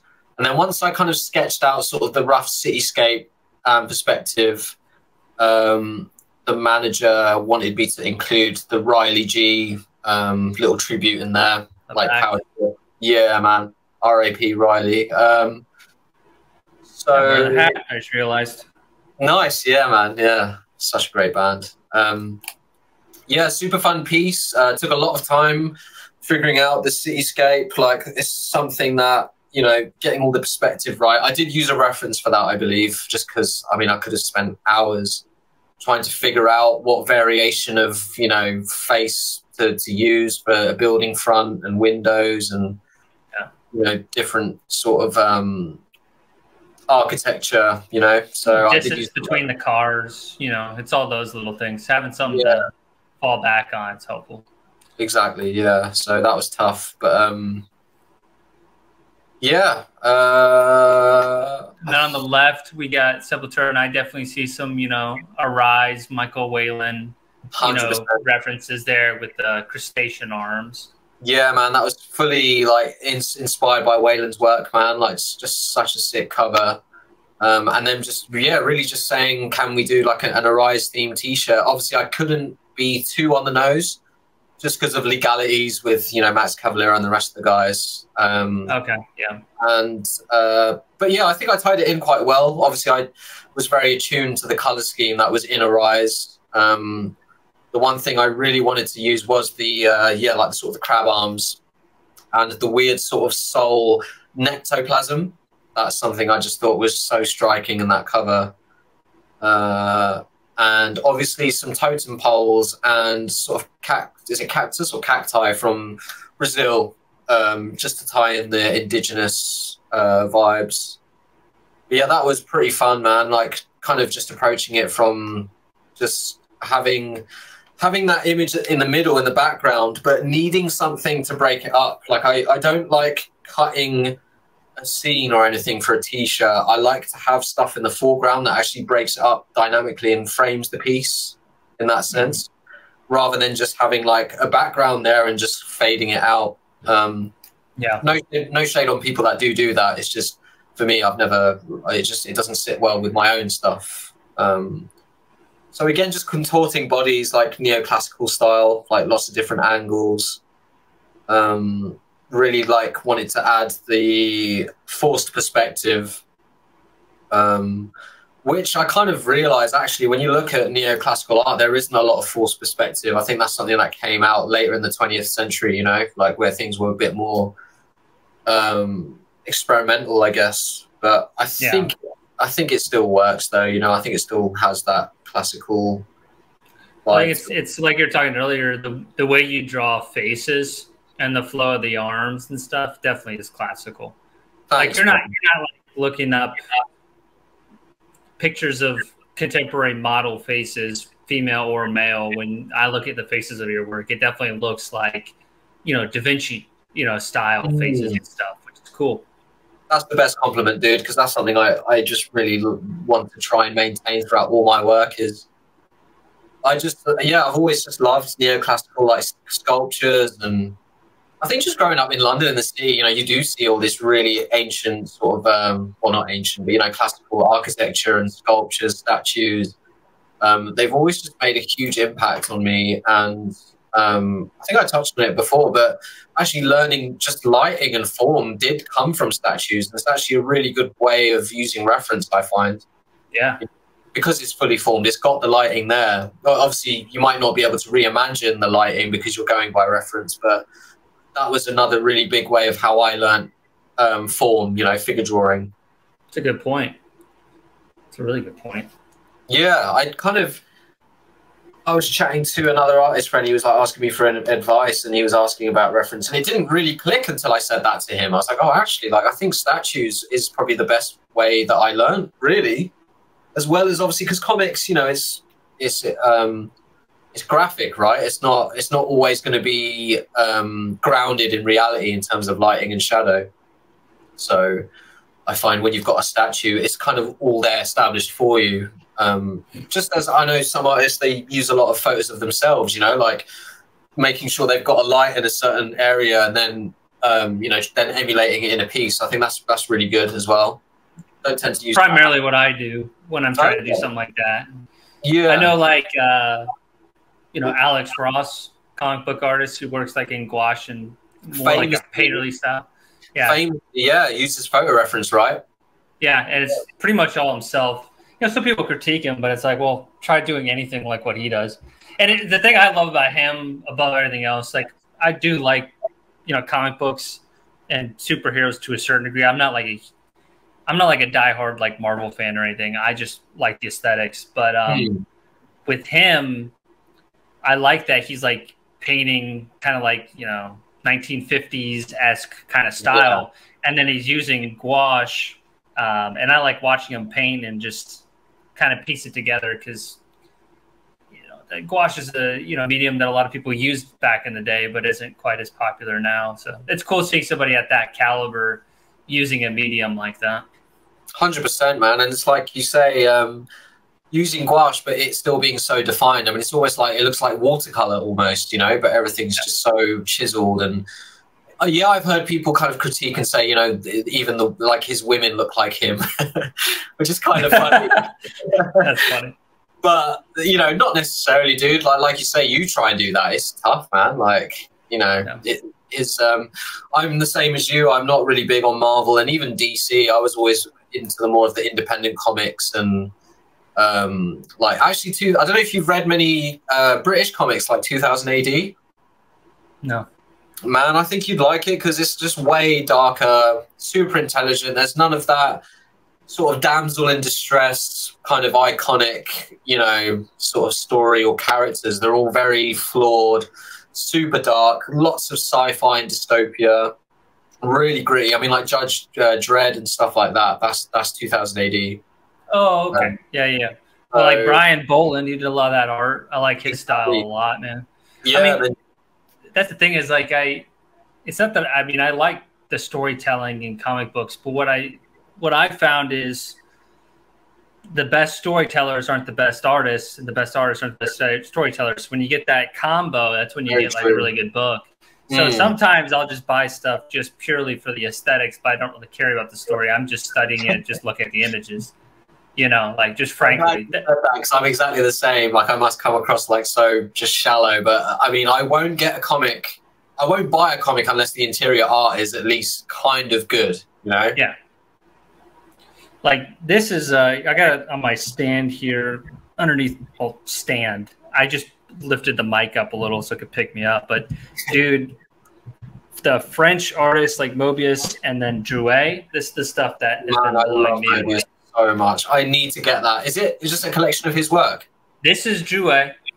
So this is uh, one of the other guys who founded Heavy Metal Magazine. Oh, cool. Probably by the time this is out, I have a an episode out where I'm on a, a panel with some other, you know, heavy art talk uh, guests, and we talk a little bit about Druillet. But dude, what he's doing, uh, it- it's kind of hard to show and do this, but what he's doing is. It's definitely uh, very similar to what I want to try to accomplish with my, with my work. So I've been drawing a lot from him, and um, you know, I don't want to rip him off, but like I just think that like what he's trying to achieve is is very akin to what I'm trying to do. It's nice And- seeing those artists, you know, where it's like they're different enough, but they kind of show a path of another possibility for you to explore, you know? And is would you say the story is well written as well then, or would you say that's kind of a compromise? Compromise. Would you Really? for sure. Yeah. Okay. Uh, it's not that they're bad, but I, I, I just it's almost distracting. The art is so good that I don't want to read. I just want to look at the next page. Right. What's it And, called like- again? I'm going to make a note of this. So the artist's name is Philippe Druillet. This is uh, Yragaël Erm. This is a 1974 Dragon's Dream. So Roger Dean. This is one of Oh, his wow. presses. Uh, so this is a very old book, but they just recently um, did the uh, uh, like a reissue of some of his Lone Sloan series. Hmm. Like if you look at this, I mean, That's let's just let's just be real. I, I know this is my like scratch page, so it looks really messy, you know, handmade art, right? But you can kind of see. oh, 100%, dude. You yeah. know, I'm Yeah, trying yeah. to do my own version of what he's doing in this piece, and you know, you can call me out on it if you want, but I think there's enough difference uh, to it. Hundred percent, dude. Like you know, we all.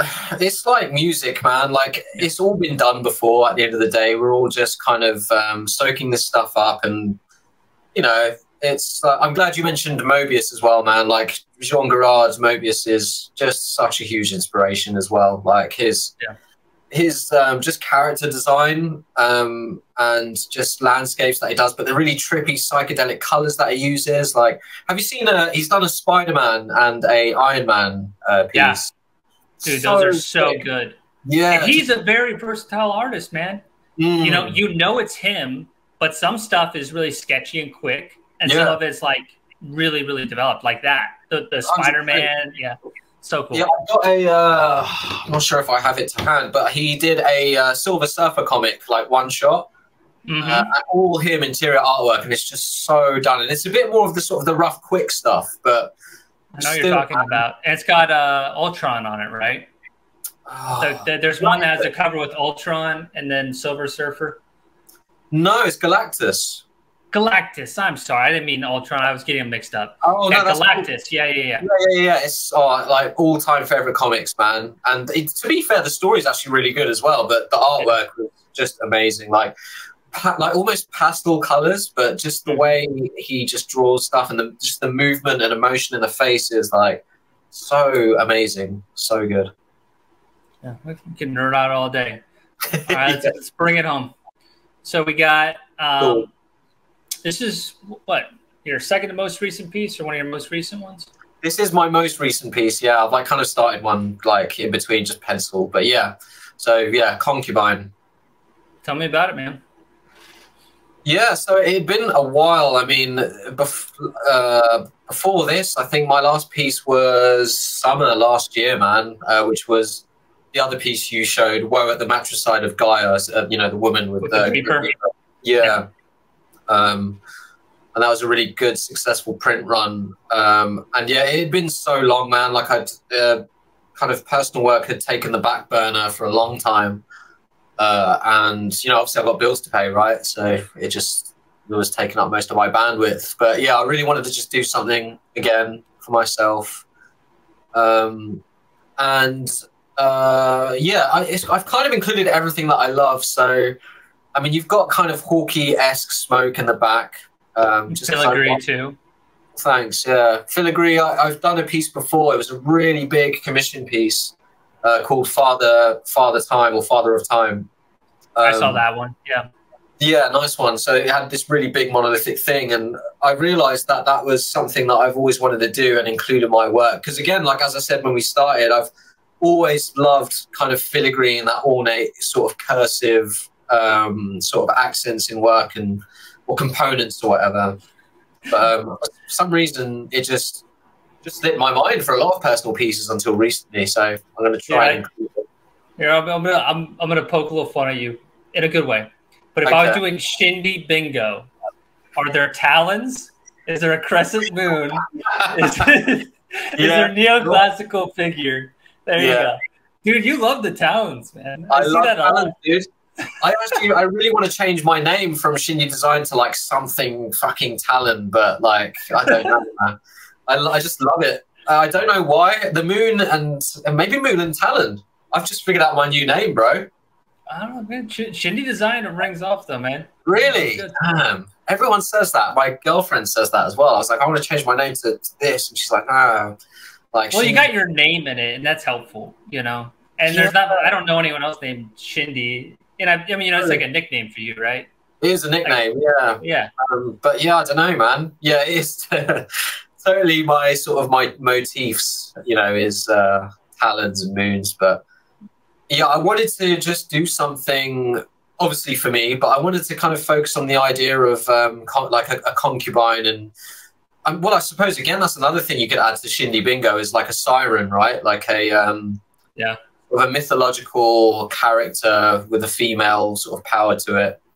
Um, I've just always been drawn to like the, the female form. Um, like I, I, was brought up by my mum, so I'm very in touch with like my feminine side. I've just always um, just loved con- contrasting beauty with dark, obviously. Oh, yeah. um, so I wanted something to kind of show that these like good and evil alike is like just enthralled by this siren or this uh, this concubine, um, and just wanted it to be like you would you'd be attached to this this goddess, you know, no matter what. Like even if your world was burning around you, you'd still be clinging on, you know, for dear life. That was basically just the idea, um, and I was just having fun with this man, like just trying to get back into dot shading again. Like again with commissions, I don't get to do it as much just because of time constraints.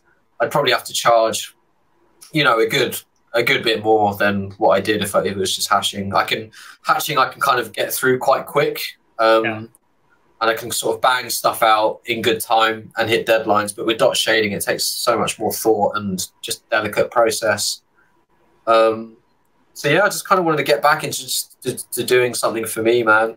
And um, I, even with this, I would change a lot for sure. Um, just the the line weight, and I kind of I actually prefer the color. Usually, I I prefer the black and white, and I like my ink work to, like I said before, do most of the legwork. You know, carry most of the weight, and then the color just be uh, accentuating certain uh, aspects of it. But yeah. with this, I, I find the color is is better. I think in my in in my in my mind, it kind of everything's distinct. Um, I know what you mean. I, I mean, I don't decipherable. You know, like you can tell. Yeah. You know, I've lightened up the wings and the cloth and everything. It's just everything's got its place. Like I find the black and white, the filigree in the background just looks like a bit of a mess and it's a bit lost perhaps. To me, it's still it's still more readable than than a lot of black and white art that I see that is very busy. But in this case, I can see your point though. I think using like those brown cloaks that just breaks everything up, like mm. you're hmm. talking about, and the fact that the skull uh, or the skeleton, you know, has a different you know shade of color than the the skin tone, so it obviously breaks it out too. Mm. But I think they're both really strong. Thanks so much, dude. I'm glad you picked this one out. I'm, um, I do, I do like this one. Like I say, it's always tough for me to take compliments, but this is where I, you know, it, like I say, it'd been a long time since I did a personal piece, so I was just like, I don't care what's going on in my life. I need to dedicate some time to myself, and just I don't care how long it takes. I'm just going to do it, and I've yeah, I'm definitely going to make a point of doing more personal work because um, yeah, you, can get burnt out easily if you're just doing commissions and you're just realizing other people's ideas. It can just get exhausting after a while, and it's no. It's not to say that I don't enjoy the work. It's just you got to have that balance, right? You got to have that uh, equilibrium. Well, the other thing too is like anytime you do a personal piece, it's showing the world both in album and band work, but I think you'll especially find it with tattooing once you get more up to steam. You know, it shows what you want to draw, and over time, people will come to you for that. You know what I mean? Like that's mm. why artists, tattoo artists, you know, create flash and create things like that because it's like this is the type of work I want to create. So, right. mm. you know, I think I think it'll benefit that too. So you don't fall into the trap of you know tattooing work that you don't enjoy. As 100%. over time, you got to mm. pay your dues, of course. You know. Oh yeah, but, sure. But I think that's the other strength of always doing personal work. Hundred percent, dude. You've got to do it. Like, I mean, I think it was in one of your notes and your questions about how how you juggle time. You know, how you actually fit in uh, personal work. And I've got to admit, I've been terrible at it over the years. You know, I've literally, like I say, I've uh, commission work has been paramount. Um, and I would get burnt out quite a lot. And um, so now I, am trying. It's not as easy, obviously. You kind of you think you can fit in time, but I'm going to try and do like one day a week. I'm just going to dedicate just for me, just even if it's just sketching stuff out. One day a week, regardless, is going to be for like personal work, and then uh, hopefully, then I'll be recharged enough, and you know, it will actually it actually helps you with your commission work. I find because you are recharged and you're doing something totally different, and you're not you know, you're not like, oh, I'm doing a cover again with the same sort of themes, you know. Yeah, totally, man. Well, let's bring it home with final question.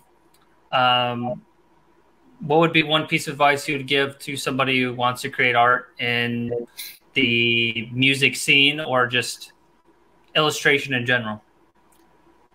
Wow, this is always really tough, man. Um, I think you could break it down into sort of different sections, not to like ramble for too long, but so I'd say, you know, the business side of things, and this is something I've just learned over time, is just have everything in writing, you know, like stick to your guns. Um, watermark your work until they've paid for it, man. Like I didn't learn that until way late, and I've had people literally not pay for work and just do a runner, you know, like literally just disappear. Um, yeah, just have everything in writing, establish everything from the get go so you know what you're doing, so there's no like tweaking that they're not paying for and stuff like that. Um, just be you do a good job of doing that on your website. I noticed. Oh you're, yeah, you're very transparent about your rates and your mm. process. Hundred percent, man. That's only going to just help um, you and help clients understand whether they can afford you. You know, so yeah, but that's the business side of things.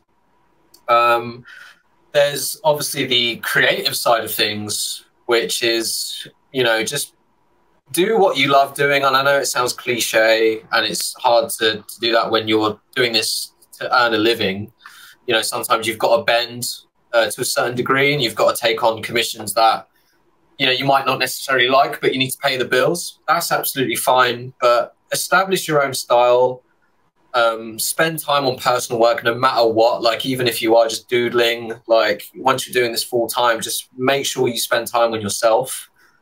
Um, and just always try and stay inspired, man. Like, you have to be obsessed about this to do a good job, and you have to be obsessed to make it into a living. You know, if you're just doing it as a thing where you think, oh, I could make some money out of it, you're not going to be driven enough to do what I do, which is get up early every day, five days a week, you know, do eight hours straight every day, no matter what, no matter how I'm feeling or whether I'm ill or whatever. You know, you've got to be obsessed about it. You've got to love it to do that, I think.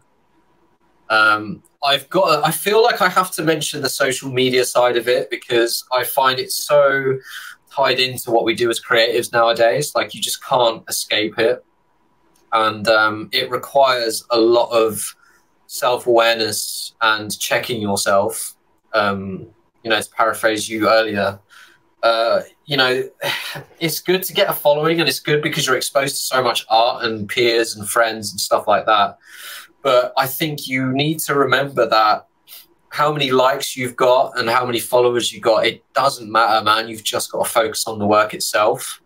You know, you've just got to work on yourself and just, you know, turn your phone off every now and then, dude. Like, if you get fed up, like, go for a walk and just explore the outside. You, you know, life doesn't revolve around Instagram and Facebook. Like, it's, it's destructive, dude. Like there's been times where I'm just scrolling there for hours and thinking I'm being inspired, but I'm not. I'm just being distracted, and I'm I'm actually hating myself and my work even more because you're comparing yourself to these other artists or like you know if you're an if you're like a, a musician, these virtuosos, or if you're a you know, like a model, you're comparing yourself to these influencers, and it's not real. It's just, it's so fake. A lot of the time, it's just, it's bought likes and bought followers, you know? So just know that social media is important, but just focus on the work, man. Like, be pragmatic about it. Know how to use social media. You know, you learn how to utilize technology in a healthy way, but just don't make it the be all end all, man. Like, who gives a fuck if you posted a, a, piece and it had like half as many likes as the previous piece, man? Like, just don't dwell on it. Just focus on yourself, man. Yeah. Sorry for good, No, no, that's a good point. Like the other thing is like, don't don't try to convince everyone that you're this great artist. Just try to create great art by enjoying it. Mm. You know, I think so much of it is trying to it's like you're trying to like fool people that you're bigger than you are. That was what, you know, if I look back, I guess they're still going on today, but you know, when I used to be in a band, that was part of it. It's like try to make yourself look bigger than you actually are. Whereas right. I think it's more of just like you said, man, enjoy the process, enjoy the art that you're creating and um yeah, don't try to be somebody else. Like you have to find that well of like what truly is you and then try mm. to improve it over time. So I won't try to be you. You won't try to be me. We can just do our own thing and just get better, right? Perfect, dude. Yeah, that's it. All right, Shindy. Well, stay on just for a second. But for everybody else, thank you for tuning in. Um, like I said, about three episodes a month. Uh, please check out Shindy Design on Instagram. You can check out his website. Uh, sometimes he has like prints coming up. I think they're all sold out currently, which is a good sign. Um, but yeah, keep an eye out whenever he posts, and if there's anything uh, involving like prints, man, you got to pick that up because it's going to look great on a wall. Um, even your, even your mom's going to like it to a certain degree, you know. So maybe may, may have too many boobies in there. We'll see. But thanks. Yeah. Thanks much, For the open-minded mothers out there. yeah. But yeah, thank you, everybody. Oh, go ahead. Say thanks uh, for having me on, dude. It's been really great. Um, I love what you're doing with you know platforming artists and just having a cool conversation. Like your interview style is just really laid back and chilled, which is awesome. Like really enjoyed everything, like Riddick and Sawblade and Nightjar. I can't wait to see more. And um, yeah, thanks, dude. Really appreciate it. Appreciate it. See you guys. Thank you. Out.